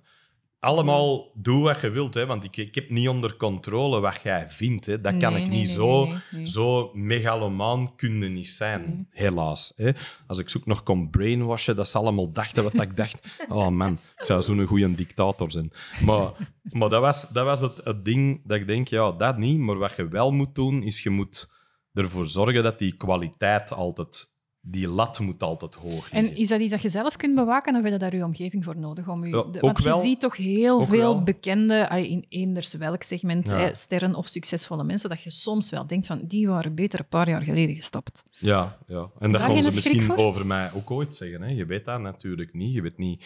Weet je dat zelf, is de vraag ook Mhm. altijd. Hè. Sommige Daarom, mensen... ja.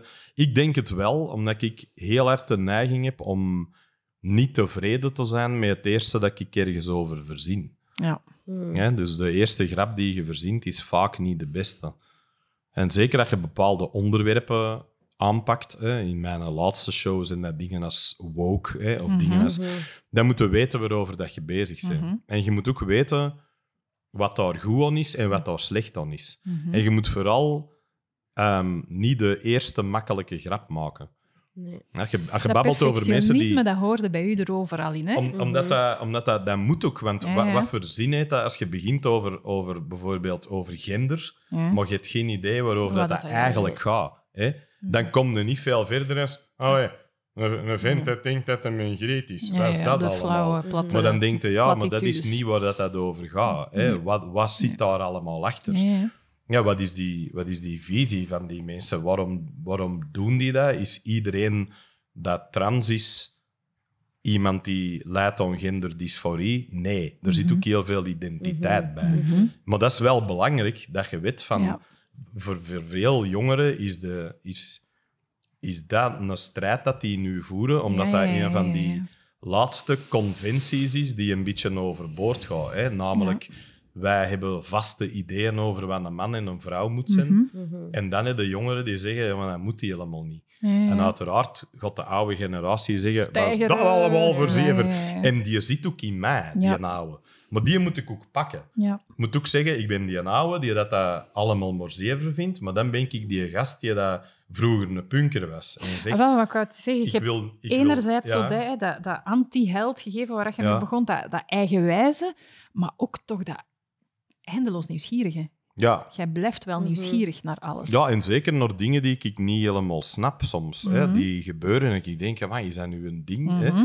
Zo, ik weet, ik ken je mij echt dat absoluut, dat eerste moment, en dat zat in mijn vorige show, Be Careful What You Wish For, want dat had meer gender als een thema. Dat was eigenlijk, eh, en dan was ik me een tijd vooruit, dat kan ik wel zeggen, want er was niemand mee bezig in comedy op dat moment. Maar ik zat daar en dat was gewoon gebeurd door een aflevering bij Van Giels en Gasten, dat ik aan tafel zat met een jong meisje en die was biseksueel. Mhm. En die had een kledinglijn ontworpen voor biseksuele mensen. Hè. En ik dacht, wel, oké, is dat een ding? Hè? Mhm. Dus ik zat daar en ik denk, denk ja, biseksueel, gay, hè, ehm, eh, lesbisch. Ja, daar ben ik al jaren mee mee. Dat is niet iets waar ik van opkijk of van Nee. denk. Hè. Nee. Kan dat als mijn dochter met een meisje naar huis komt? Dat zou bij mij geen issue zijn. Allee, ik was niet iemand die dat daar zat. Dus ik denk, is dat nou nodig? Hè, zo, hè, zo, maar, maar niet op een... Op een waarom, ik dacht, ah, daar, daar zijn we toch voorbij, of dat is toch oké. Maar dan voelde bij jou dat dat heel hard niet was. Hè? Dat was alleen een ding. Dus ik zit daar en ik denk, oké. Maar dan zei hij... Hè, ja, die vroeg voor wie zijn al die, die kleren eigenlijk, hè, voor wie zijn die kleren bestemd? En zei zo, ja, voor iedereen, voor mannen, vrouwen en alle andere genders. Nu, ik ben Engelstalig opgevoed en Mhm. gender betekende bij mij gewoon geslacht. Dat is Mhm. man of vrouw, zijn er Mhm. twee. Dus ik zit en ik zeg, ik zeg ja, zijn er nog anderen dan? Maar dat klonk alsof dat ik zo... Je daarna? Ja, maar dat ja, was ja, puur het onwetendheid. Dus ik zit daar en ik zeg, oh, zijn er nog anderen dan? En, en die, zo, die kijkt zo naar mij, ja, en iedereen aan tafel beziet mij ook zo van... wat Taboe, taboe, nou? wat zegt hij Maar dan denk ik, maar dan denk ik hè, maar wat, wat, wat is deze? Hè? Waarover gaat dat? Maar ik ben er zeker van dat de helft van de tafel het ook niet wist. hè. Nee, en zo Maar dat van, ah, zo hij vraagt het. En ik denk, hè, ja, en die, die vertelt, ja, ja, er zijn nog andere genders. Ik zeg, ja, eh, wat, dan? En zo. En wij hebben zo een klein gesprek. Mhm. En ik kom na, dat, na, die, eh, na die show ga ik praten met dat meisje. En zeg Mhm. ik van, ja, wat is dat dan allemaal? Hè? Wat zijn Nee, die genders dan? Wat is dat? Had hij dat over identiteit en over dat je je zo voelt. En, en dan denk ik, ah, dat is wel iets fascinerend. Dat Ja. boeide mij wel. Ik dacht wel, wat zou dat zijn? Dus dan denk ik er zo van alles over beginnen opzoeken. En zo werd dat eigenlijk een thema waar ik wat mee kon spelen. Zo.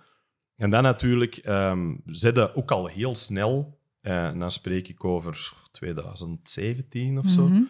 zitten snel bij woke in Amerika. Ja, ja, ja. En daar, daar waren ze hier nog belangen niet. Hè. Nee, hier het nee, woord nee. woke zijn, niemand had een idee wat dat was. Maar ik- ik zag ook al wat daar aan het gebeuren was in Amerika. Mhm. Hè? Namelijk dat extreem bullebakkerige van, van dat extreem Mhm. links, hè? wat Mhm. niet veel beter is dan dat extreem rechts. Toch niet in hoe, hoe ze hun eigen opstellen. Er hè. geldt een elitair kantje aan de Dat- twee, hè? En, en, en ook iets heel... eh, En pedant.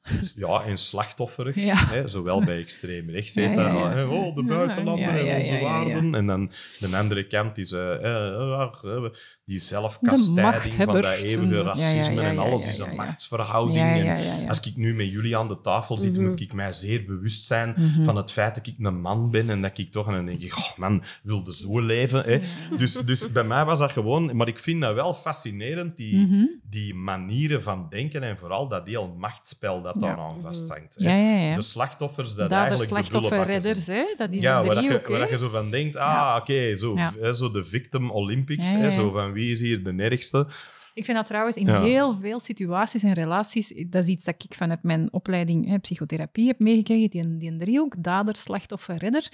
Eens dat je die een bril hebt, hè, dan zie je in elke situatie, die drie heb je altijd. Je hebt Ja. degene die helemaal in die slachtofferrol kruipt, iemand Ja. die dan, dan tot dader gebombardeerd wordt, of het ook effectief is, en ook Mhm. altijd een redder. En, en als je iemand probeert uit een van die drie hoekjes eruit te halen, oeh, dan Ja, ja. gebeurt er echt heel... Ja, Heel zotte dingen. En dat is ook weird, want, want de- de- er, zit net, er is natuurlijk iets van aan ook. Hè. Dat is niet volledig van de pot gerukt, want anders zouden die ideeën ook niet... Nee, nee, nee, maar het gaat zo over dat gedrag dat we gewend zijn. Maar, maar dat is wel, uiteindelijk is, is eh, hè, want woke is ook een verzamelterm. Dat is, ook Ja, een- ja. dat is ook iets heel pejoratief geworden nu. Terwijl in het begin was dat hè, zo gezegd dat hè, je ogen up, open hebben voor... voor Ja, maar, maar ook dat heeft iets heel religieus. Hè. Je ogen open, degene die het licht gezien hebben, Mm. hè, de zogenaamde rechtse red pillars, hè, degene die de roeipil gepakt hebben en de. Matrix zien. Same idea. Ja. Er, zijn, er zijn maar vijf ideeën. Hè, bij de mensen. Het is altijd hetzelfde. Je komt uiteindelijk altijd uit bij een soort religie Mhm. waar mensen hun, hun ideologie of hun geloof Ja. hebben. En al wat daar tegenin gaat, is een ketter. Is slecht. En is niet alleen iemand waar je het oneens mee bent, Nee, klopt. maar is moreel verwerpelijk en moet weg. Ik hè. vind dat een Mhm. van de moeilijkste dynamieken Ja. die er is. Het- De neiging dat elke mens heeft om gigantisch zwart-wit te denken. Ja, Als je iets of wat de nuance opzoekt, mensen worden daar een betant van. ja, hè? en dat is nu de nieuwe punk, want dat is nog het spijtigste van allemaal. Ik bedoel, ik was vroeger, ik, toen ik opkwam als comedian, ik kom nog uit een uitloop van de jaren 90 Amerikaanse Mhm. comedians en die waren onwaarschijnlijk bot, hard en politiek Mhm. incorrect. Dus dat was ik ook vroeger. Ik heb echt dingen gezegd die ik nu nooit niet meer zou zeggen. Ja, ja. Maar die toen door Ik geef dezelfde... eerlijk toe, ik was geen fan van Door, door eerste dezelfde mensen... Ja, ik, ik kan dat snappen. Alleen ik kan dat niet snappen. Dan zeg je gewoon Nee. stom. Ja, Maar, stop. nee, aflevering. nee, nee, maar ik snap het, Oh, tuurlijk. Want, want ik, was ook, nou, ik was ook niet voor iedereen. Dat Nee, nee, ook- het is eigenlijk gewoon- doordat ik ook meer over u als persoon ben te weten gekomen Ja. en dingen heb gelezen en gezien en dan via, via dat ik dacht van, oh, maar dat is eigenlijk wel gewoon een hele fijne mens. Maar in het begin Ja, en had mijn, ik ook- mijn, mijn shows zijn ook veel genuanceerder dan dat je denkt. Maar die waren dat eigenlijk vroeger ook al. Want wat ik altijd deed, was zalven, zo en, zalven hè. en slagen. Ik was altijd degene die, die een echt met eh, eh, een deur open trapt en dan binnenwandelt Ja. en ze terug om de, om de muur vuist. Hè, Ja, en zegt ja, van, ja, maar wacht, lustert. Hè. Zo, dus dat had altijd wel dat. Hè. En ik, ik lok ook graag mensen uit hun tent. Ik zeg ook Mhm. graag dingen... Ik, ik, ik durf ook altijd vaak iets te zeggen waar ik van weet, ja, nu gaat elke rechtse gast zoiets hebben. Yes, hè, het is Ja. een van ons. En dat is ook het verschil met, met heel die strijd met links en rechts, vind ik ook heel opvallend. Als je ehm, iets zegt dat nog maar in de richting komt Mhm. van rechts, dan zeggen al die rechtse mensen, Mhm. kom in onze armen, een van ons. Hè. Ja. Als je links bent, kun je nooit links genoeg zijn. Nee, zwaar. Er zit altijd iemand Daar naast u dat zegt: Ja, maar dit is. Ja, maar je hebt toch nog dat woord gebruikt. Ja, maar dit moeten we. En dat doet dan zo alles teniet van hetgeen dat je zegt, Mhm. terwijl dat je denkt: Ja, maar ik sta aan uw kant. Hè. Ja, ja, nee, Zo, maar links Je moet gaat- dat wel, je moet dat wel doorhebben, want hoe meer dat je eigen gaat is, ja, ze afsluiten, isoleren in van die zeer kleine identitaire Ja, groepjes, Ja, ja, maar dat is hoe minder macht dat jij hebt. Hè. Want jij gaat vooral mensen afstoten die normaal aan uw kant zouden Mhm. staan Ja. en die nog veel erger sympathie beginnen te krijgen voor de andere kant. Ja. Want die spelen, het, gebeurt. die spelen het veel slimmer. Hè. En heel duidelijk. Dat zijn degenen die zeggen, en- wij zijn ja. de partijen Ja. van het gezond verstand. Hè. Ja, voilà. Wij zijn de common sense. Hè. De wereld is zot geworden. Hè. Really? Boys can be girls? Was dat allemaal Mm. verzever? We weten dat dat niet waar is. Hè. Zo dat soort dingen. En voor de meeste mensen klinkt dat allemaal veel Veel aannemelijker dan die ongelooflijke ehm, theorieën. Want wat is het probleem met hè, de verzamelterm woke? Ik, ik zeg het maar omdat dat nu het woord, hè, le, le mot du jour is. hè, Mhm. want, want daarvoor was het politieke correctheid. Mhm. Nu is dat politieke correctheid 2.0 Ja. is woke. Hè. Ja. Binnen een aantal jaar gaan we een ander een woord ander, hebben, ja. want dat is, dat is nog de klote, dat woord. Dat weten we nu al. is nu al. Vanaf het moment dat, dat ik conservatievere mensen er pamfletten over beginnen te Mhm. schrijven, is het voorbij. Hè. Laat het los, dat woord betekent niet meer wat dat je wilt. Hè. Ook al zegt iedereen, ja, maar de originele betekenis, ja, maar dat heeft Mm. woke zelf naar de klote geholpen. Mhm. Daar moeten, daar moeten ze ook wel verantwoordelijkheid voor pakken. Dat hebben ze wel gedaan. En het probleem daarmee is, dat is eigenlijk een, een, een, een verzameling van studies Mhm. die uit Amerikaanse academia komen, hè, die meestal eindigen op het woord theory of studies, hè, Mhm. gender studies, Mhm. eh, critical Mhm. race Om theory. een beetje credibiliteit zo, te kunnen geven. Zo, intersectional feminist serieus, theory. ja. Dat zijn allemaal theory, theory, theory Ja. vakken die hun theorieën dan meestal ook presenteren als conclusies, waardoor dat, dat helemaal moeilijk Mhm. wordt. Dat je denkt, kijk, kun je eigenlijk niet bewijzen wat je hier allemaal zegt. Maar dat je het maar met genoeg overtuiging op tafel gooit, Mhm. zeggen we het wel allemaal na. Hè. Dat is Dat dat is met één ding. veel dingen zo. Hè. En daar een basis in, het, het, eh, in, in postmodernisme, hè, in, in Mhm. een soort deconstructivisme van de Mhm. maatschappij, het afbreken van de grote ja. metanarratieven. Ja, er is geen de grote objectieve, beelden en de grote, objectieve waarheid. Het enige probleem is, bij woke is er wel een objectieve waarheid, namelijk die van hun. Ah, ja. Dus die hebben maar alle niet andere alle op- strekkingen? De, klopt, maar, hè, want zelfs de, de postmodernisten die zeiden er is geen waarheid, vonden dan dat dat de waarheid was. Mhm. Hè. Dus die- je, je kunt er niet onderuit, want een mens is altijd op zoek naar een waarheid. Of Klopt. naar iets dat ze hun eigen aan kunnen vind dat vasthouden. ook met de wetenschap. Ik zeg soms, Klopt, wetenschap ja. is een nieuwe religie. Is ook zo. Is ook zo. Is ook zo. Omdat we- om- alleen die religie is meer gebaseerd op Ja. trial and error dan. En dan zeggen tenminste dan religie. Als het eens een keer misloopt, dan zeggen ze ook: Ah, we hadden het verkeerd, we hebben het Mhm. aangepast. Hè, want, want medicijnen of zo, als die niet werken, moeten er aan blijven werken. ja, Hè? Dus dat zijn zowel de dingen dat je moet doen. Zeg, Alex, ik voel, Mhm. wij gaan hier nog uren bezig kunnen Ja. blijven. Hè? Maar ehm, even fast forward naar het stukje... Oké, alles is vertrokken. Je bent op tv geweest, 1 miljoen drie kijkers. Al die boekingen lopen vol. Eh, uw eerste ambitie hè, van 1500 naar 15.000. Oké, Sportpaleis komt goed. Dat lukt. ja, Wat was het moment dat jij voor jezelf zo echt had van... Oké, nu ben ik waar dat ik wil zijn. niet. Dat is er niet. Omdat je, dat is de grote desillusie. Hè? Dat is hetgeen waar je tegenaan Dat is die loopt, hè. beker dat je zegt Waar je van... tegenaan loopt, Ja. hè? Dat, is, dat is dat ding dat je denkt, ja, oké, hè, zo... Je moet ook eens falen natuurlijk van tijd tot tijd. Werchter was zo'n moment, hè, dat ik Ja, dat aankondig. ja, ja. En dat Vind je dat dat dan... een falen? Ik vond dat een slecht idee, eigenlijk. En ik heb mij er een beetje laten inpraten door zowel mijn management toen als Mhm. door, door eh, Live Nation, Mhm. die dat daar wel in geloofden, maar ik geloofde er eigenlijk niet in. En dat is ook een gouden regel eigenlijk. Als je het zelf niet voelt, dan moet je het eigenlijk niet doen. Mhm. Maar ik dacht, oh, mijn ego heb ik dan laten winnen. Dat is ja, natuurlijk kun je Want ik dat, vond, het, wel- ik vond het eigenlijk wel een tof idee. Ja, maar dat was een goed idee. Want ik verschoot ervan dat echt niet heeft. Goh, dat was, en dat was niet, dat was slechte timing. En dat had ik vooral gezegd. Ja. We kwamen recht uit eh, COVID. Corona, ja. Ja, we zaten met de oorlog in Oekraïne en alles Mhm. werd ineens in diezelfde week tien Ja. keer duurder. Ja. Dus Ja. je zit daar en je denkt, oh man, dat is niet de moment. Dat heeft niet gewerkt en dan dacht ik, ja, we moeten daarmee omgaan. Hè, zo. Wat ik heel tof vond, is dat je er ook daar gewoon zelf mee hebt zitten. Allee, je hebt dat niet proberen er een draai aan geven. Je hebt dat Nee. gewoon geowned. Van ja, mannen, dat, Dat is is, hier niet eh, gelukt. Hè. Je maakte er zelf dat is grapjes Mohammed over. Ali. Hè. Je- als je kunt winnen als een kampioen, moet Dat je moet kunnen ook- verliezen ja, als een dat wel kampioen. ja. Dus Ja. wat je dan moet doen, is dan moet je eigenlijk zeggen: ik kan mij gewoon verstoppen achter allerlei excuses. Wat uiteraard eh, eh, Live Nation en mijn management Ja, ja, direct begonnen te zeggen: ja, we kunnen zeggen: hè, een oorlog in Oekraïne en dit en dat en zus en de, de COVID en de, de Mhm. momenten. En ik zeg: ja, dat is allemaal bullshit. Zeg, je niet verkocht. Ja, ja. Zeg, dus daar moeten, we, daar moeten we iets mee doen. Je moet, Ja. je moet er iets mee doen. Ik was er mij een beetje aan het denken: ja, ik kon dat ownen. Ik kon gewoon Mhm. zeggen. Ik kon een filmpje opnemen en zeggen dat hij geen fantastisch. kloten gemarcheerd en het was allemaal niks. Hè. Whoopsie, hè, zo dat.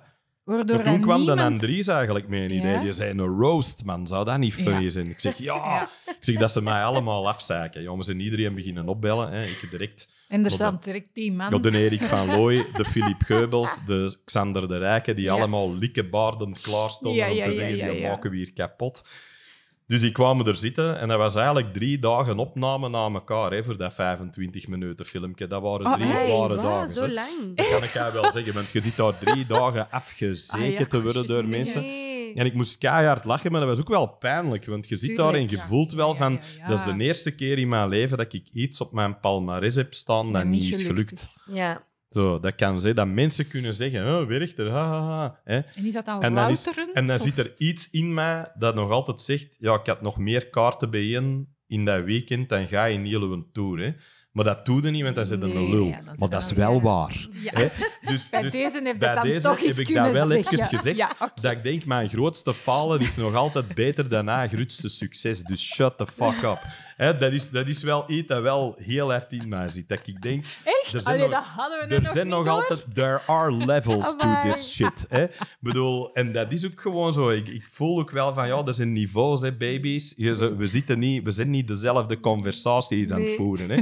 Bedoel, en, en dat is ook het, het grappige eraan, dat, dat, hè, dat ik dat dan doe in mijn podcast. En dat heet dan uiteraard... Sorry, maar je hebt het hier dan toch even Ik heb het gezegd. gezegd. Ik heb het fucking... Ah, I said it. It needed to be said.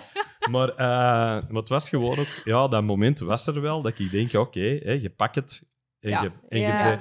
je bent nederig, maar je lacht ook mee. Ja, voilà, hè. maar dat is het. Want ik ben een comedian, ik lach lachen. mensen uit. Dan moet ik ook Mhm. het gelachen kunnen worden. Dan Ja. moet ik ook zitten dat en vind ik wel zeggen... Zo, hey, loser. Hè, Ja, ja, deze ja, ja, ja. gedaan. En dat was, daar stond hem dan met zijn werchter. Hè. De, de Filip, hè, doe is het geluidje van een lege wijn na. Hè. Zodat, ja, je moet keihard lachen, dat is mega funny.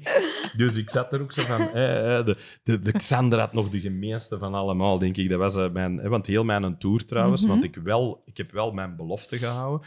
Het originele plan was dat Werchter dat 1 euro van elk eh, verkocht ticket Ja, ja, zou ja. gaan ja. naar het Yamina Ja. Crossa Fonds hè, Ja. voor, voor ja, ja, borstkanker. Ja, ja.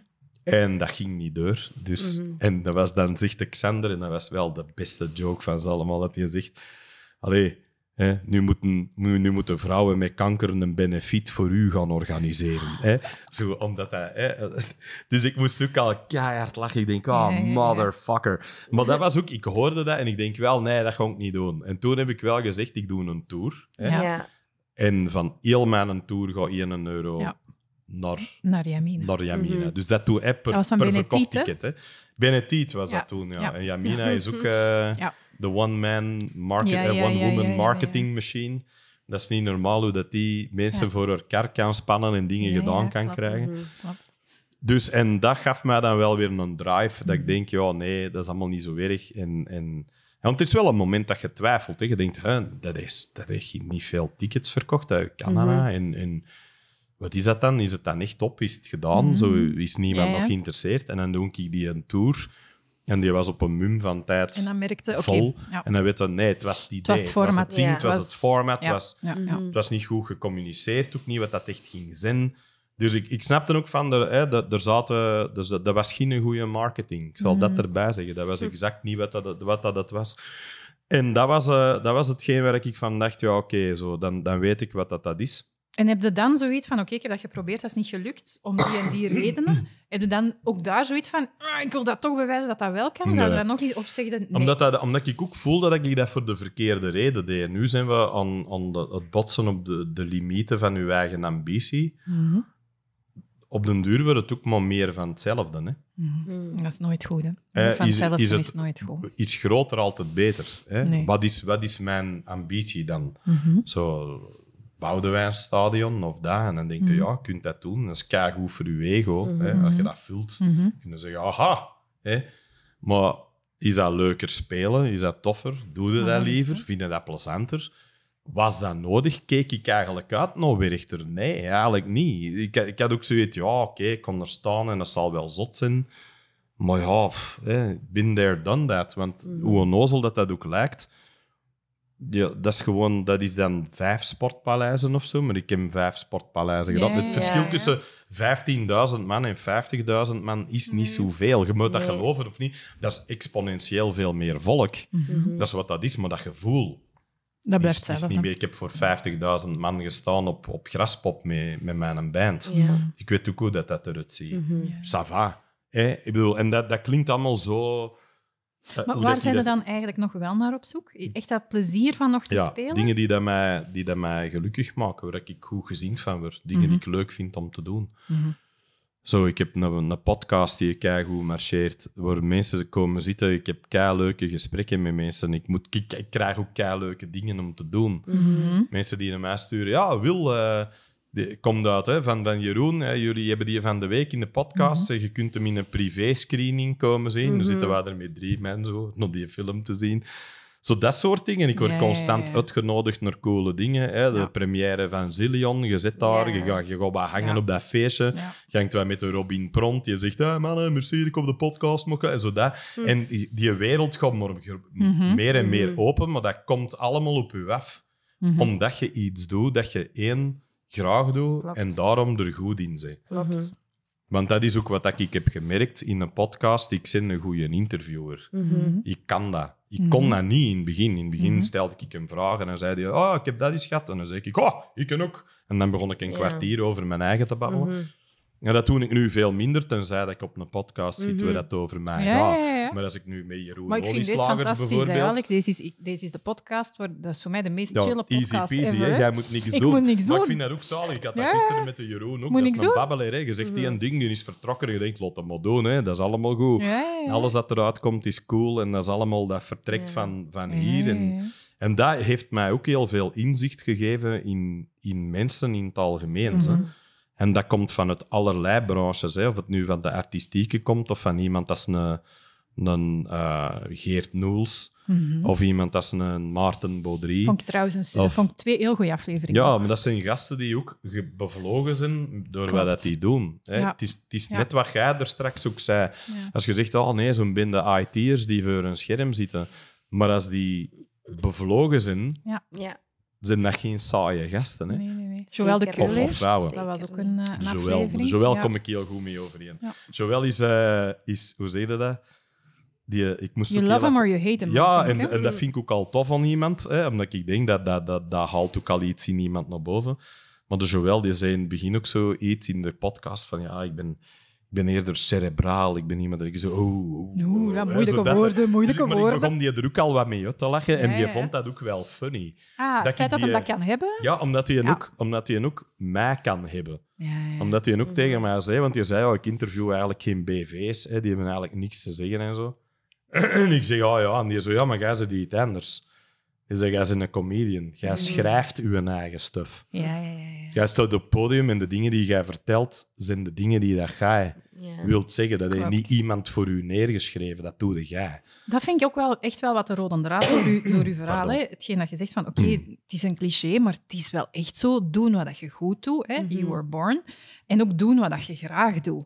Ja, Is er zoiets dat je nu zegt van, ja, dat heb ik nog niet gedaan, wat ik nog graag zou doen?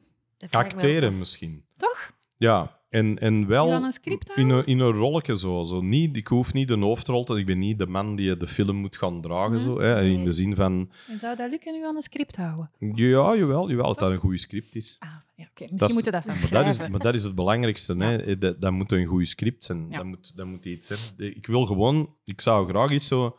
Een aanbod krijgen van een rol... Waar ik denk, ah ja, hè, zo- zo'n onwaarschijnlijke klootzak of de zo. Maar zo echt iemand die Ja. ook totaal tegen type is, dat je denkt, Ja. ah, want hij is grappig, maar hij speelt niet iemand Mhm. grappig. Nee. En dat je zo- zo'n kleine rol van zo een of andere vreselijke gast Oké, of zo. bij deze dus een oproep. Hè. Zeg je dat nog nooit aan de Erik van Looy gevraagd? Ja, die heeft al een paar keer een aantal dingen tegen mij gezegd. En dat, dat als dat ooit ervan komt, zou dat funny zijn, maar je Ja. weet het niet. Je weet dat Nee, nooit. nee, dat zijn nee, ook nee. altijd zo van die cafégesprekken waar je van denkt, misschien lukt het ooit en misschien Ja, ook niet. Maar dat is dus zo één ding dat ik denk, dat Alex in de bij- zie ik een- mijn eigen nog wel eens willen proberen. Want dat is ook niet... Ik heb Ja, ook niet ja, ja. gezegd dat ik dat gewoon kunnen, hè. Mhm. Maar gewoon het idee dat ik denk, ja, dat geeft mij zo iets waar ik mijn eigen echt kan insmijten. Zo, Waar Mhm. ik echt misschien zelfs een fysieke transformatie Ja. moet doen. Hè. Ik zeg, scheer me een baard af, blauw linzen in, blond haar, een totaal andere gast. Zo. Ja, zo, zo iemand waar je van denkt, amai, dat je zo mij op het scherm Ah, ziet en dat je zie pas na tien minuten door hebt zo van... Hey, dat, is, dat is, is dat niet Alex Agnew? Zo dat. Ja. Dat je niet het gevoel hebt van, hij komt daar een cameo, even zichzelf Nee, zijn. nee, nee. nee. Zo maar dat- misschien dan wel echt eens een Alexander, hè? Zo echt in een mooi Ah ja, kostuumpje. en zo met blauwe ogen. Dat ik en ook zo dat- ineens die een acteur ben die zo niet meer, die zo niet meer zichzelf dan... Ja. Die ineens zo voor zijn volledige naam gaat. Want, want ja, nu ben ik een... eh, nu moet ik oh, serieus genomen worden door de eh, ik ben op een punt in mijn leven gekomen dat ik eigenlijk beseft heb Ja, dat... dat ik... Dat ik dat- Ja, ja, yes. ja, ja, ja. I was in the bathtub one day when I realized I was destined for greatness. Het zal wel, het zal wel. Ja, goed idee. Oké, va. Zeg, en als je dan zo terugkijkt, is er iets dat je spijt van hebt? Weinig. Ehm, spijt is, is redelijk nutteloos. Hey, ik denk, ik Spijt denk dat is je... de tweede fout. Ja, Dat is spijt, een, eh, ja, dat is spijt- een quote Dat is een van. Ja. Spinoza, dat ik van Michael van Peel in onze Ja. studententijd heb geleerd. Ja. Spijt is de tweede fout. Ja, spijt is... is eh, ja, wat koopt het ervoor, hè, met spijt? Bedoel, er zijn een aantal dingen dat ik denk, spijt is op bepaalde dingen Mhm. ehm, op zijn plaats. Berouw iemand- als je sowieso, iemand, als als je iemand kwetst. Ja. Hè, Ja. Mhm. En dat is iemand dat je van houdt en je denkt, ah shit, dat was nou ook niet mijn bedoeling, of ik wou dat niet Nee, doen. nee, nee, nee. En je zegt sorry, hè, er is ook niks met sorry zeggen. Nee, als je maar echt, dat is super als je fout zijn, moet ook sorry kunnen zeggen. hè. Mensen die geen Mhm. sorry kunnen zeggen, vind Nee, ik zeer en zo ken ik er wel. Hè. En mijn vader was er bijvoorbeeld zo weer. hè. Er zijn er zo nog. Hè. Dat, waren, dat zijn mensen die, Dat is ook die waar dat ego te groot voor is. Hè. Ja. Die heel veel moeite hebben met, met hun verontschuldigingen aan te bieden. En daar heb ik geen problemen mee als ik, als ik denk van, ah, je hebt een punt of ik snap het. Ehm, als het gaat over mijn comedy, ga ik mij nooit sorry horen zeggen voor het is eender wat dat ik op een Mm. podium zeg. Ik heb beslist om dat te zeggen. Vind Ja. je dat niet oké? Ik snap dat. Hè. Ja, dat mag. kan zijn dat jij niet blij bent met wat ik zeg. kan zijn dat je boos bent, maar dat is haar Mm. probleem.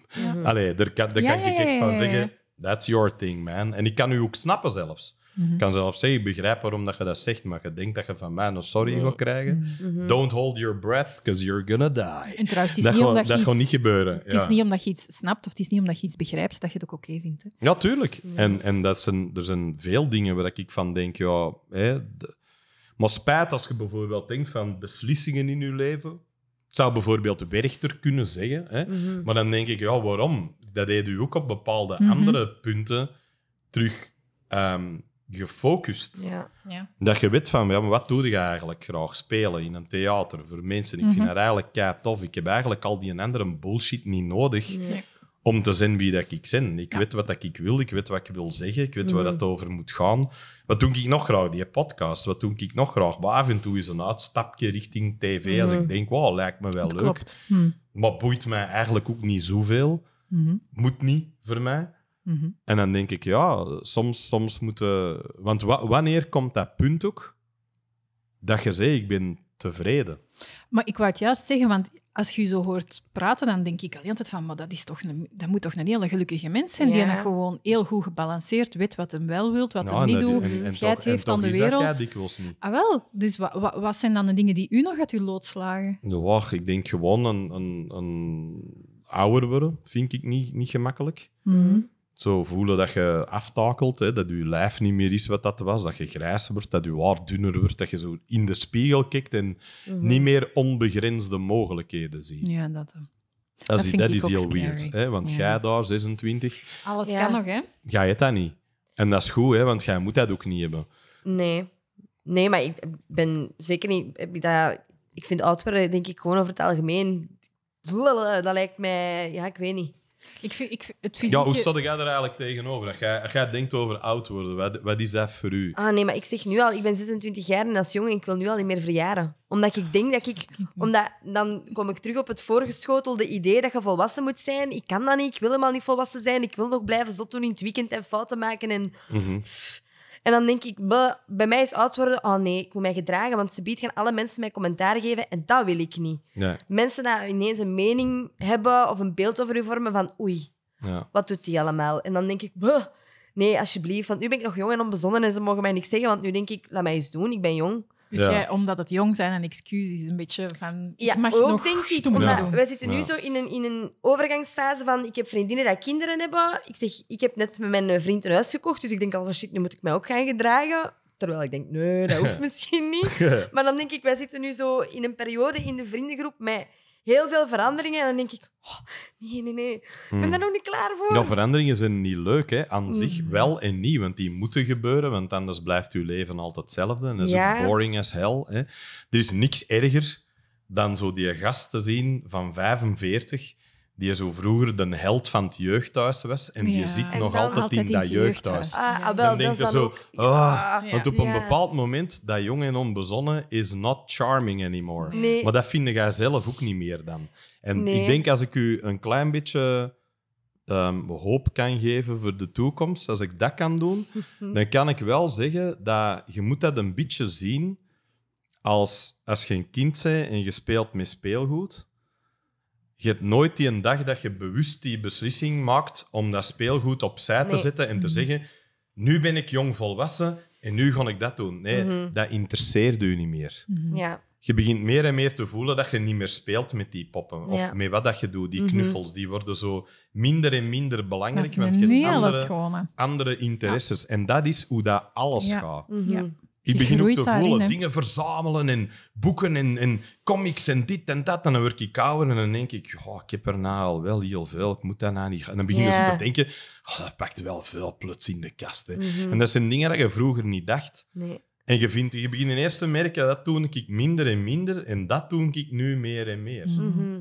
En, en dat is een overgang. Mhm. Dat je ineens gebeurt door het van, je bent niet, je wordt nooit volwassen. Hè? Je Nee. bent altijd in een fase van overgang, van Ja. verandering. Maar voor mensen die je percipiëren, word jij dat. Mhm. Want je kunt er niks anders, je kunt er niks aan doen. Ik kan niet meer te- met een 20-jarige babbelen op, en denken dat ik op die zijn niveau Nee. sta. Want dat is niet. Want die persoon heeft heel veel nog niet meegemaakt dat ik Mhm. heb meegemaakt. Mhm. Maar hij doet een totaal ander perspectief op de wereld. Die heeft wel een vinger om de pols die dat ik op bepaalde vlakken niet meer heb.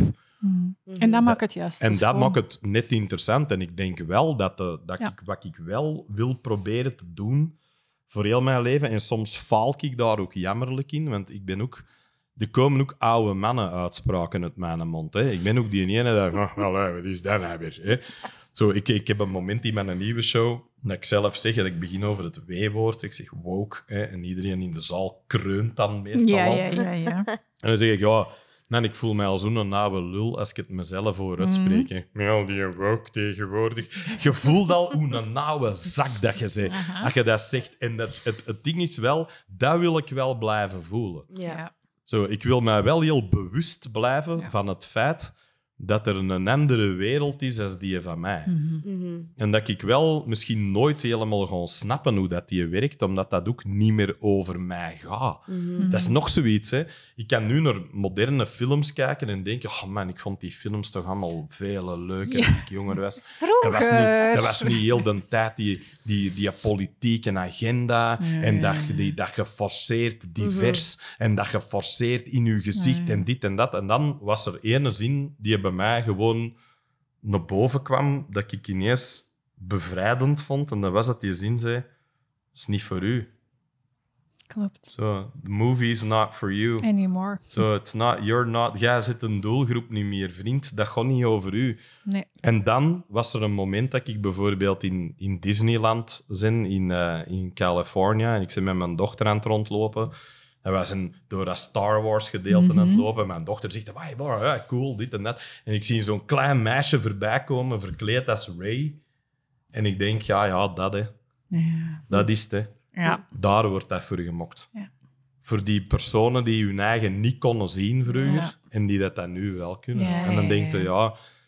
The, the Little Mermaid is black, I don't give a shit. Ja, ik wou net zeggen, Maar heel die andere mensen wel, Maar anderen wel. en die zien dat en die denken, Ja. ah, my, wauw. Hè. Ja. En dan denk je, ja, en ik, Voor ben, ik ben hen geen, maakt dat echt... ik ben geen ja. nippie, hè, want ik kan er nog zitten kijken en weer met mijn ogen rollen, want je ziet die cynische marketing er al achter. En je ziet dat lelijk ding waar je van denkt, oh, dat gaat vooral alleen maar over dollars en cents. Maar als je daar voorbij kijkt, dan heb je wel dat klein It meisje. doesn't matter. Ja. er zijn Dat, er wel. dat er zit meer, meer, meer zeemeer in een staartje Ja, ja, en ja, zegt, hey, het gaat, die, het gaat iets over mij. Mhm. Klopt. Ja, of Zeg, ik zie eens iemand op het scherm die op mij lijkt. En dan denk ik, ja, dan, dan moet ik toch soms ook die cynische lul... Sometimes it's not about us. Soms moet ik gewoon zeggen, ja, Het gaat niet Zet over dan ons. maar weer eens een film met Stallone op uit de jaren tachtig, hè, want dat Voilà. gaat wel over haar. En die hebben we ook gehad. En dan denk ik, ja, voilà. En die zijn er nog genoeg. Absoluut. Er is ook nog heel veel. Maar af en toe, af en toe is een goede film, mannen. Mhm. Kom on, het is toch al lang geleden. Jesus Christ. Zeg, Brit, stelt dat u wat teleur, eh, teleur waardoor ik nu eh, gerust... teleur, gerust. Teleur. Ja, Ja. Maar ik denk, ik denk Is al... dat de toekomst? This is gonna be horrible. Dat kan ook, hè. Dat kan ook, hè. Nee, het stelt me zeker niet teleur. Nee, het stelt mij echt, echt Nou, gerust. zou dat nu zo Van- een Freudiaans... Van, van begin tot eind al, denk ik zo... Ik- Ja, ik was mega stressy, ook al eerst en vooral. Maar Ja. zo gewoon over... Ja, dan niet stressen of het niet te groots bekijken of zo. Gelijk wat je zei, van die mensen dat bekijken, gelijk een groot project en zo. En doe gewoon... De dingen dat je doet nu, doe dat goed en Mhm. pak dat vast. Dan denk ik, ah, zalig. En terwijl ik soms in mijn hoofd denk, ik weet niet hoe groot zijn, ik moet hier, ik weet niet, maar... Ja, het is altijd een combinatie van de twee. Je kunt dat niet afzetten. Hè. Je bent ook een mens, je kijkt ook vooruit, je, je hebt ook ideeën. Je, je hebt ook een, ergens iets in je kop dat je een Mm. gevoel geeft van daar moet ik zijn. hè. Ja, En dat ding is ook altijd, en dat is de grote desillusie dan, want als ik de hoop even ook helemaal van de tafel kan vagen, Oké, zullen we dat Eh, nu stoppen? Ja. dan kan ik wel dat één ding zeggen, dat, dat gelukkig zijn, dat voel ik wel dat dat voor mij de zoektocht is. ja. En dat is eigenlijk een beetje de grootste leugen dat ze ooit aan Dat ons verkocht hebben. Mhm. Zeggen dat we gelukkig moesten zijn. Vanaf het moment dat je life, liberty and the pursuit of happiness... Mhm. Het is vooral de pursuit. Ja. Mhm. Want happiness ga je moeten vinden in de momenten dat je stilstaat bij wat dat je hebt. En dat Oh, doe je God. veel te weinig. ja, dat is waar. En soms denk ik, wat zijn de gelukkigste momenten in mijn leven? Dat zijn zo'n stomme momenten allemaal. Is dat dat daverend applaus en dat podium afgaan onder de douche stond en naar huis rijden en denken, maar ik ben kapot. Dan denk ik, ja, want dat geeft mij energie en ik Ja. doe dat graag. En dat, ik sta ook op een podium met een passie en dat is dat. Maar wat is dat? Goh, ik heb een hof, hè, een grote hof, met een zwembad in. En ik zit dan aan een barbecue zo, en ik zie al die kinderen van al mijn vrienden in dat zwembad. Ah, En I feel like my dad. Hè. Ja. Je staat er zo met je shirt aan, onder, onder neer en je denkt, eh, die, die, die, Ik heb het die- gemaakt. En dan, ja, maar dan denkt je wel, ja, maar dat is wel Dat een is moment. wel. Ja. Waarom doe je dat? Mhm. Ja, ja. Waarom moet je dat thuis hebben? Waarom moet je dat, die Ja. zwembad hebben? Waarom heb je dat allemaal nodig? Ja, omwille van dat. Ja. Het is al En- tof dat je het op dat moment beseft. Ja, en dat is te weinig. Mm. Dat is te weinig. Dat heb ik ook met dat sportpaleis moeten doen. Heb ik dat letterlijk tegen mijn eigen gezegd. Beleef dat. Ja, staat er ga daar staan en net dat deur. Ja. Want dat die week is gedaan. Ja, Zo ja, ja, voorbij. ja. En dat je alleen maar het liggen stressen en het liggen, ja, deze moet en dat moet en dat moet en het moet dat en het moet dat en wat gaan ze ervan vinden en wat schrijft de pers en wat dat, dat, dat. Pff. Dat is allemaal ruis. Mhm. ruis, dat is nonsens. Ik lees ook geen recensies niet meer Nee? van mijn shows. Al twee shows niet meer. Mensen zeggen, ja, ze zijn keigoed. I don't care. Weet je Nee, waarom? publiek, Nee, weet publiek waar- toch weet wel? waarom? Publiek, ja, publiek vindt dat leuk en dat is cool, want daar leesde, daar Ja, daar ja. moet het van hebben. Ja, Hè. ja, ja. Je weet toch wat je zelf gedaan hebt. Zo'n Ja. recen... Allee, dat een recensie, dat je dat op een gegeven moment zegt van oké. Dat maar- bedoel ik, hè? ja. maar die, daar lees ik, dat lees ik niet meer. Want ehm, als die iets niet goed vinden, ga ik mij erop focussen. Misschien het gevoel Ja, hebben dat ja, ik daar ja, iets aan ja. moet doen. En Terwijl dan dat gaat dat toch onbewust die beginnen. zijn ding is en niet mijn ding. en ten tweede, als hij iets keigoed vindt, Mhm. heb ik de neiging om meer van hetzelfde te gaan doen. Mhm. Wat ook niet goed is. Mhm. Want je gaat nooit reproduceren wat dat je spontaan doet. Nee. Nee. Nee. Dus mijn volgende show gaat spontaan vergelijkbaar zijn, want ik ben Mhm. wie dat ik ben. Mhm. Je doet een deur je stokpaardjes. Je Mhm. weet ook al, hij gaat, hij gaat weer ergens Hitler bij betrekken, ook al is het niet nodig. hij gaat ook weer, hè, hij gaat ook weer, weet ik veel wat, hij gaat ook weer iets over zijn huisdieren zijn of over zijn thuissituatie. Je krijgt ook weer een walgelijk seksverhaal dat je niet wilt weten.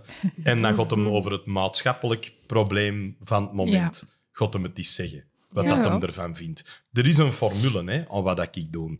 Dat weet ik, want zo bouw ik mijn shows ook op. Ja. Maar er, in al die shows zit wel groei. Mhm. Mhm. Je voelt wel altijd, oh ja, die is wel niet meer wie dat die was tien jaar geleden of vijf dat is, jaar schoon, geleden. dat is ook schoon. Mensen die kunnen toegeven en zeggen van kijk, wat ik tien jaar geleden dacht en hoe dat ik keek ondertussen, ja, ik kijk anders, de maatschappij evolueert, ik ken ook Ja, Ja. het N-woord, hè. Ja. Dat is er Ja. zo eentje, hè.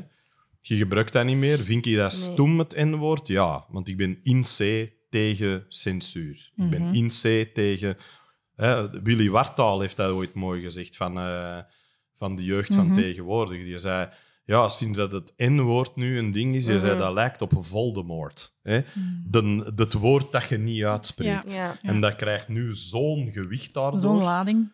Dat je denkt, ja, als dat je het nou het gewoon wel zou zeggen, ja, dat je het tegenovergestelde dan, bereikt, dan neutraliseert het ook een beetje. Hè? Mhm. Maar aan de andere kant, als er dan jonge mensen zijn hè, die zich daar beledigd en gekwetst door voelen, ja, ik die wil beledigen, ehm, ik ben kei creatief. Hè. Ik kan echt zo allerlei andere dingen vinden om die mee te beledigen. En, ik, ik, en als ik eerlijk wil zijn, als ik mensen wil chockeren, als ik jong was, je moet dat een beetje vergelijken met je allereerste punkplaat. Mhm. hè. Alles moet kapot, iedereen moet eraan. Mhm. Hè, het, fragment, hè, het fragmentatiegranaat met heel veel collateral damage. Ja. hè, dat is dan, gewoon ploft en alles rondom u is mee kapot. Mhm. En nu probeer ik in mijn humor ook meer een soort eh precisieraket te zijn. Een guided missile. Namelijk, ik kies mijn doelwit en dat wordt het. Ja. En niet alles er rond is kapot. Nee, nee, de die. Ja. Ja. Die moet ik hebben. En alles daar rond, dat daar tegenaan leunt, gaat wel beseffen van, oh, oké, die kunnen roepen, het gaat over mij, Mhm. maar dan kan ik zeggen, nee, daarom, Want- daarom en ja, daarom voilà. niet. Doordat je voor jezelf het meer... Als ik ja. woke afzeik, zei, zei ik geen progressieve ideeën af. Mhm. Want woke is niet progressief. Mhm. Dat is de grootste misvatting dat daarover bestaat. En als ik dat in progressieve kranten lees, rol ik nog altijd met mijn ogen. Hmm. Dat ik altijd denk, ja, vooral mensen die gekant zijn tegen progressieve ideeën, dan denk ik nee tegen autoritaire gezeik. Jongens, dat is iets anders. En dat, dat heeft niks met elkaar te maken. Hmm. En dat voel ik wel, dat ik denk, ja, ik ben misschien daarin ehm, milder geworden misschien. Dat ik denk, ja, je moet hè, soms... moet ook geen een boer zijn. Hè. Moet ook niet, waarom zou die iemand zomaar gaan beledigen? Mhm. Dat is boring. Hè. Dat is, ik, Nee, en, dat moet- en dat vind ik ook niet grappig. Daar schuilt voor mij geen enkele humor Nee, in. nee, terwijl, hè, ja, wie weet, je hebt mensen die goed zijn in dark for the sake of dark. hè. Je hebt er wel, hè. je hebt Anthony Ja. Jeselnik, zo'n Amerikaan die een alleen maar moppen mokt, die alleen maar bedoeld zijn om u Ja. te doen, oh man, dat meende toch niet. Maar die is er keigoed in. Ja, ja, maar dat zou dan inderdaad een kwestie En van, van Die, smaak die zijn. zegt dan ook in zijn eigen interviews, ja, ik weet dat ik gemeen humor heb, maar ik vind dat grappig. Dat is wat ik Mhm. doe. En ik heb een publiek dat dat ook vindt. Hè. Die is niet voor iedereen. Exact. Dat weet je ook wel. Je moet je niet op een familievriendelijke talkshow zetten, want dan, Nee, dan komt het niet goed. Plus, die heeft ook de ervaring, want dat hoort er dan natuurlijk ook bij, dat hij ook shows heeft waar die ergens speelt, waar mensen dat vreselijk vinden wat dat die doet. Hmm. Maar die kikt daar ook een beetje op. om. Omdat hij een houding heeft alsof het hem niet kan schelen. En het heel coole aan die gast is wel, dat is een hele knappe vent. Hè. Die ziet er ook heel goed. Die heeft zoiets Patrick Bateman, American Psycho. Zo. Die heeft zo'n zo'n soort dood reptielachtig Oh, ik ding in hem. In hoe dat hij praat, in hoe dat hij doet, dat hij zijn micro vasthoudt, hoe dat hij kijkt, hoe dat hij iets zegt dat casually gruwelijk is. En dan wandelt hij zo over het podium, alsof dat hij zo weet, hè, ja, ik weet het, Golle vindt dat allemaal vreselijk, hè. maar hier is er nog één. En ik hou wel van die houding. Omdat ik wel, ik hou wel heel hard van mensen die dat push the envelope. Ja. Waar ik wel van voel, ja, ga doe niet... Hoe zeg je dat? You don't choose the path? Nee. most, eh, most traveled by. Ga, ga pak dat ander pad. Zo waar je van zegt, dat is een pakje moeilijker. Dat is het je eigen veel moeilijker Mhm. maken. Maar de, wat wel veel groter is, is de voldoening als het lukt. Hè. Oh, mag ik daar even op inpikken? Omdat ik vind dat dat een hele schone is om een beetje de cirkel te sluiten. Omdat je vroeg in het begin, Karen, hè, waarom heb je mij uitgenodigd? En Mhm. zei, ik zeg ja, omdat ik hou van mensen die hun eigen weg, hun eigen... Mhm. En voilà, ik vind deze eigenlijk een schone om de cirkel te sluiten. Ja, Dan, ehm, ik weet niet meer wie dat was dat het zei. Zo, Two roads diverge into the woods and I took the one less traveled Ja, by. And that has made all the difference. Ja, en ook hetgeen dat je er juist zei, beseffen dat je, dat je niet voor iedereen kunt zijn. Mhm. Niet, nobody. Niemand vindt iedereen leuk. En Nee. dat, dat is en niet, dat en ik niet alles is voor leren. u ook niet. Nee, dat is ook een klopt. andere. Hè. Op Klopt. een bepaald moment zit jij niet meer de doelgroep. Nee. Wat is er moet bij u blijven hangen? Er blijft veel hangen. Kijk Ja. er naar uit om die gewoon te herbeluisteren. Ja. Ik ga moet na gewoon zeggen, ik ben eigenlijk alles vergeten. Ik weet het niet. I don't know. Het was wel heel Het veel. was veel. Nee, nee. Ja, ja, ja. ja. Ja. Eh, nee, ik denk, eh, ja, wat ik meeneem, of de, de grootste conclusie voor mij is mijn, mijn gerustheid nu. Oké. Eerst en vooral. Ehm, opnieuw dat van die grote projecten. Doe gewoon, ik kijk gewoon nu voor mij en, en pak het gewoon vast en doe dat goed, want dat heb ik ook wel. Ehm, of ja, Een huis is ook maar een huis, hè, by the way. ja Je hebt een huis gekocht met je vriend, dat kun je verkopen ook. Hè. dat is waar. Dat is allemaal, Ja, al die dingen... exact. Je zegt getrouwd, Nee. je kunt scheiden ook, hè, het Ja, zakt. dat kan, dat kan allemaal. Al die dingen kunnen, hè. Al die dingen Dat kunnen. is, maar ik neem vooral mee van, van ja, dat je het niet voor ogen moet hebben. Van ik ga die kant uit, laat het op je afkomen en pak het dan vast, maar stel er je wel voor open. Ja. Want als je er voor open stelt, dan komt het. Dan neem ik zeker mee. Ehm, naar ja, van dat ouder worden. Ja. Dat dat automatisch gaat. Dat heb ik letterlijk nog nooit gehoord, denk ik. Van, Hm. je gaat daar wel gewoon... Ja, het ding, is, het ding is, tenzij dat je doodgaat, gaat dat ouder Ja, worden. nee, ja, ah, wel. En dat is, dat is, dat Dat is, daar heb je echt niks over te zeggen. Nee. En dat is ook het dat ding dat, dat uiteindelijk ervoor gaat zorgen dat je, dat je, je gaat hoofdstukken afsluiten, maar Ja. nooit bewust, zelden Nee. bewust. Nee, dat gebeurt Heel af en toe trekt de deur achter u dicht en zeg Ja. ik ben hier weg, weg van die Ja. job, Ja. fuck deze, Ja. genoeg, ik kan niet anders doen. Dat Mhm. gebeurt, hè. Mensen Mhm. kunnen radicaal omslagen in hun leven. Je hebt mensen die dat doen. Ja. Hè. Eh, Je ziet dat vaak bij jonge vrouwen, zo, die het goed doen in het bedrijfsleven, heel hoog opklimmen, de stap voor CEO of voor eh, bestuurslid. Mhm. En dan ineens zeggen, ik ben 35, ik werk 80 uur in de week, is dat wat ik wil? Die gooien de Mm. deur dicht en die beginnen een cupcakewinkel. En je denkt, ja, maar ja, maar snap je wat ik Ja, bedoel? ja, ja, ja, En dat is ook het leven. Hè? Dat kan ook. Je kunt ook radicaal omslagen en zeggen, man, dat maakt mij niet gelukkig. Of Mhm. waarom doe ik deze? Mhm. Ambitie for the sake of ambition stopt, hè. Dat stopt allemaal. Succes stopt ook. Mhm. Of, of je zet het gewoon nog erger en je denkt, ach, wat is dat eigenlijk nog? Ach, een volle zaal, maar weer. Hè? Terwijl, dat, dat, dat, je- dat is allemaal zijn dat dingen waar je gewoon wint. Maar Mhm. de, de dingen is wel, denk ik, uiteindelijk is het, als je, als je het geluk in je leven vindt, dat zijn meestal die kei stomme Mhm. kleine momenten die zo even voorbij komen. Dan dat je denkt, Aan uw Toen eigenlijk- barbecue, in en ik of. ben eigenlijk Ja. gelukkig. Ja. Nu op deze moment. En trust me, dan komt er altijd wel weer iets waar je je eigen Ja. druk in kunt maken. Ze. Geen Absoluut. probleem, dat doet het leven ook altijd. Mhm. Mhm. Maar man, wat een, het, wat hè? een trip. Hè? Mhm. Zeg, Alex, ik eh, eindig altijd met dezelfde vraag ook. Ehm. Als jij nu een tip zou kunnen geven aan 20-jarige Alex. Oh god. Ja. Uh, uh, I don't know. Misschien is het ook wel gewoon doen, maar gewoon neem, het niet, neem het niet allemaal zo serieus. Ja. Dat denk ik. Dat is wat ik eigenlijk... Dat, dat is de grootste contradictie Ja. in wie dat ik ben. Hè. Je zit een comedian, maar je bent een comedian omdat je zo serieus bent. Hmm. Omdat je het je allemaal zo hard aantrekt. Ah. En omdat je dan denkt, ik, ik moet er een weg voor vinden. Ik moet een manier vinden om het, om het een plaats te geven en dan kan ik er maar beter mee lachen. Ja. Hè? De- Hmm. en, en heel veel van mijn comedy ontstaat uit frustratie of woede of, Hmm. of triestig zijn hè? of, Mhm. of ongelukkig zijn of dat soort dingen. En heel dat, dat ding over, over jonge mensen nu en hoe hard dat die bezig zijn met, met mentaal welzijn, hè? met alle voor- en nadelen van dien. Mhm. Dat je denkt, iedereen heeft tegenwoordig een trauma, klaarblijkelijk. Maar aan de andere kant, ja, ze zijn er wel mee Het is wel bezig. goed dat ze ermee bezig zijn. Terwijl dat er een, een heel deel van ons... Hè, Daar veel te weinig bij stilgestaan. wie, wie zei dat? Henry David Thoreau, denk ik. Most men lead lives of quiet desperation. En dan denkt hij, don't be resigned to that. Hè. Ja. Doe iets anders. Dus ik denk, als ik tegen mijn 20-jarige Alex zou zeggen, dan dat, dat had hij ook niet willen horen, by the way. Dat kon Nee, ik ook zeggen. is Die had Nee. geen klote geïnteresseerd geweest Nee. in dat advies. Maar als ik hier tegen had gezegd, man, het is allemaal maar dat Hmm. chill een beetje. Doe, lach er eens mee. Relativeer het. Het is niet allemaal zo belangrijk. En waar dat jij denkt dat het grote geluk gaat liggen, daar gaat het niet zijn. Hmm. Dan zou ik die jonge Alex gezegd hebben... Oh, jonge loser. Wat weet jij ervan? Zeg, en hoe zou die een 20-jarige kijken naar de 50-jarige? Wat een oude lul.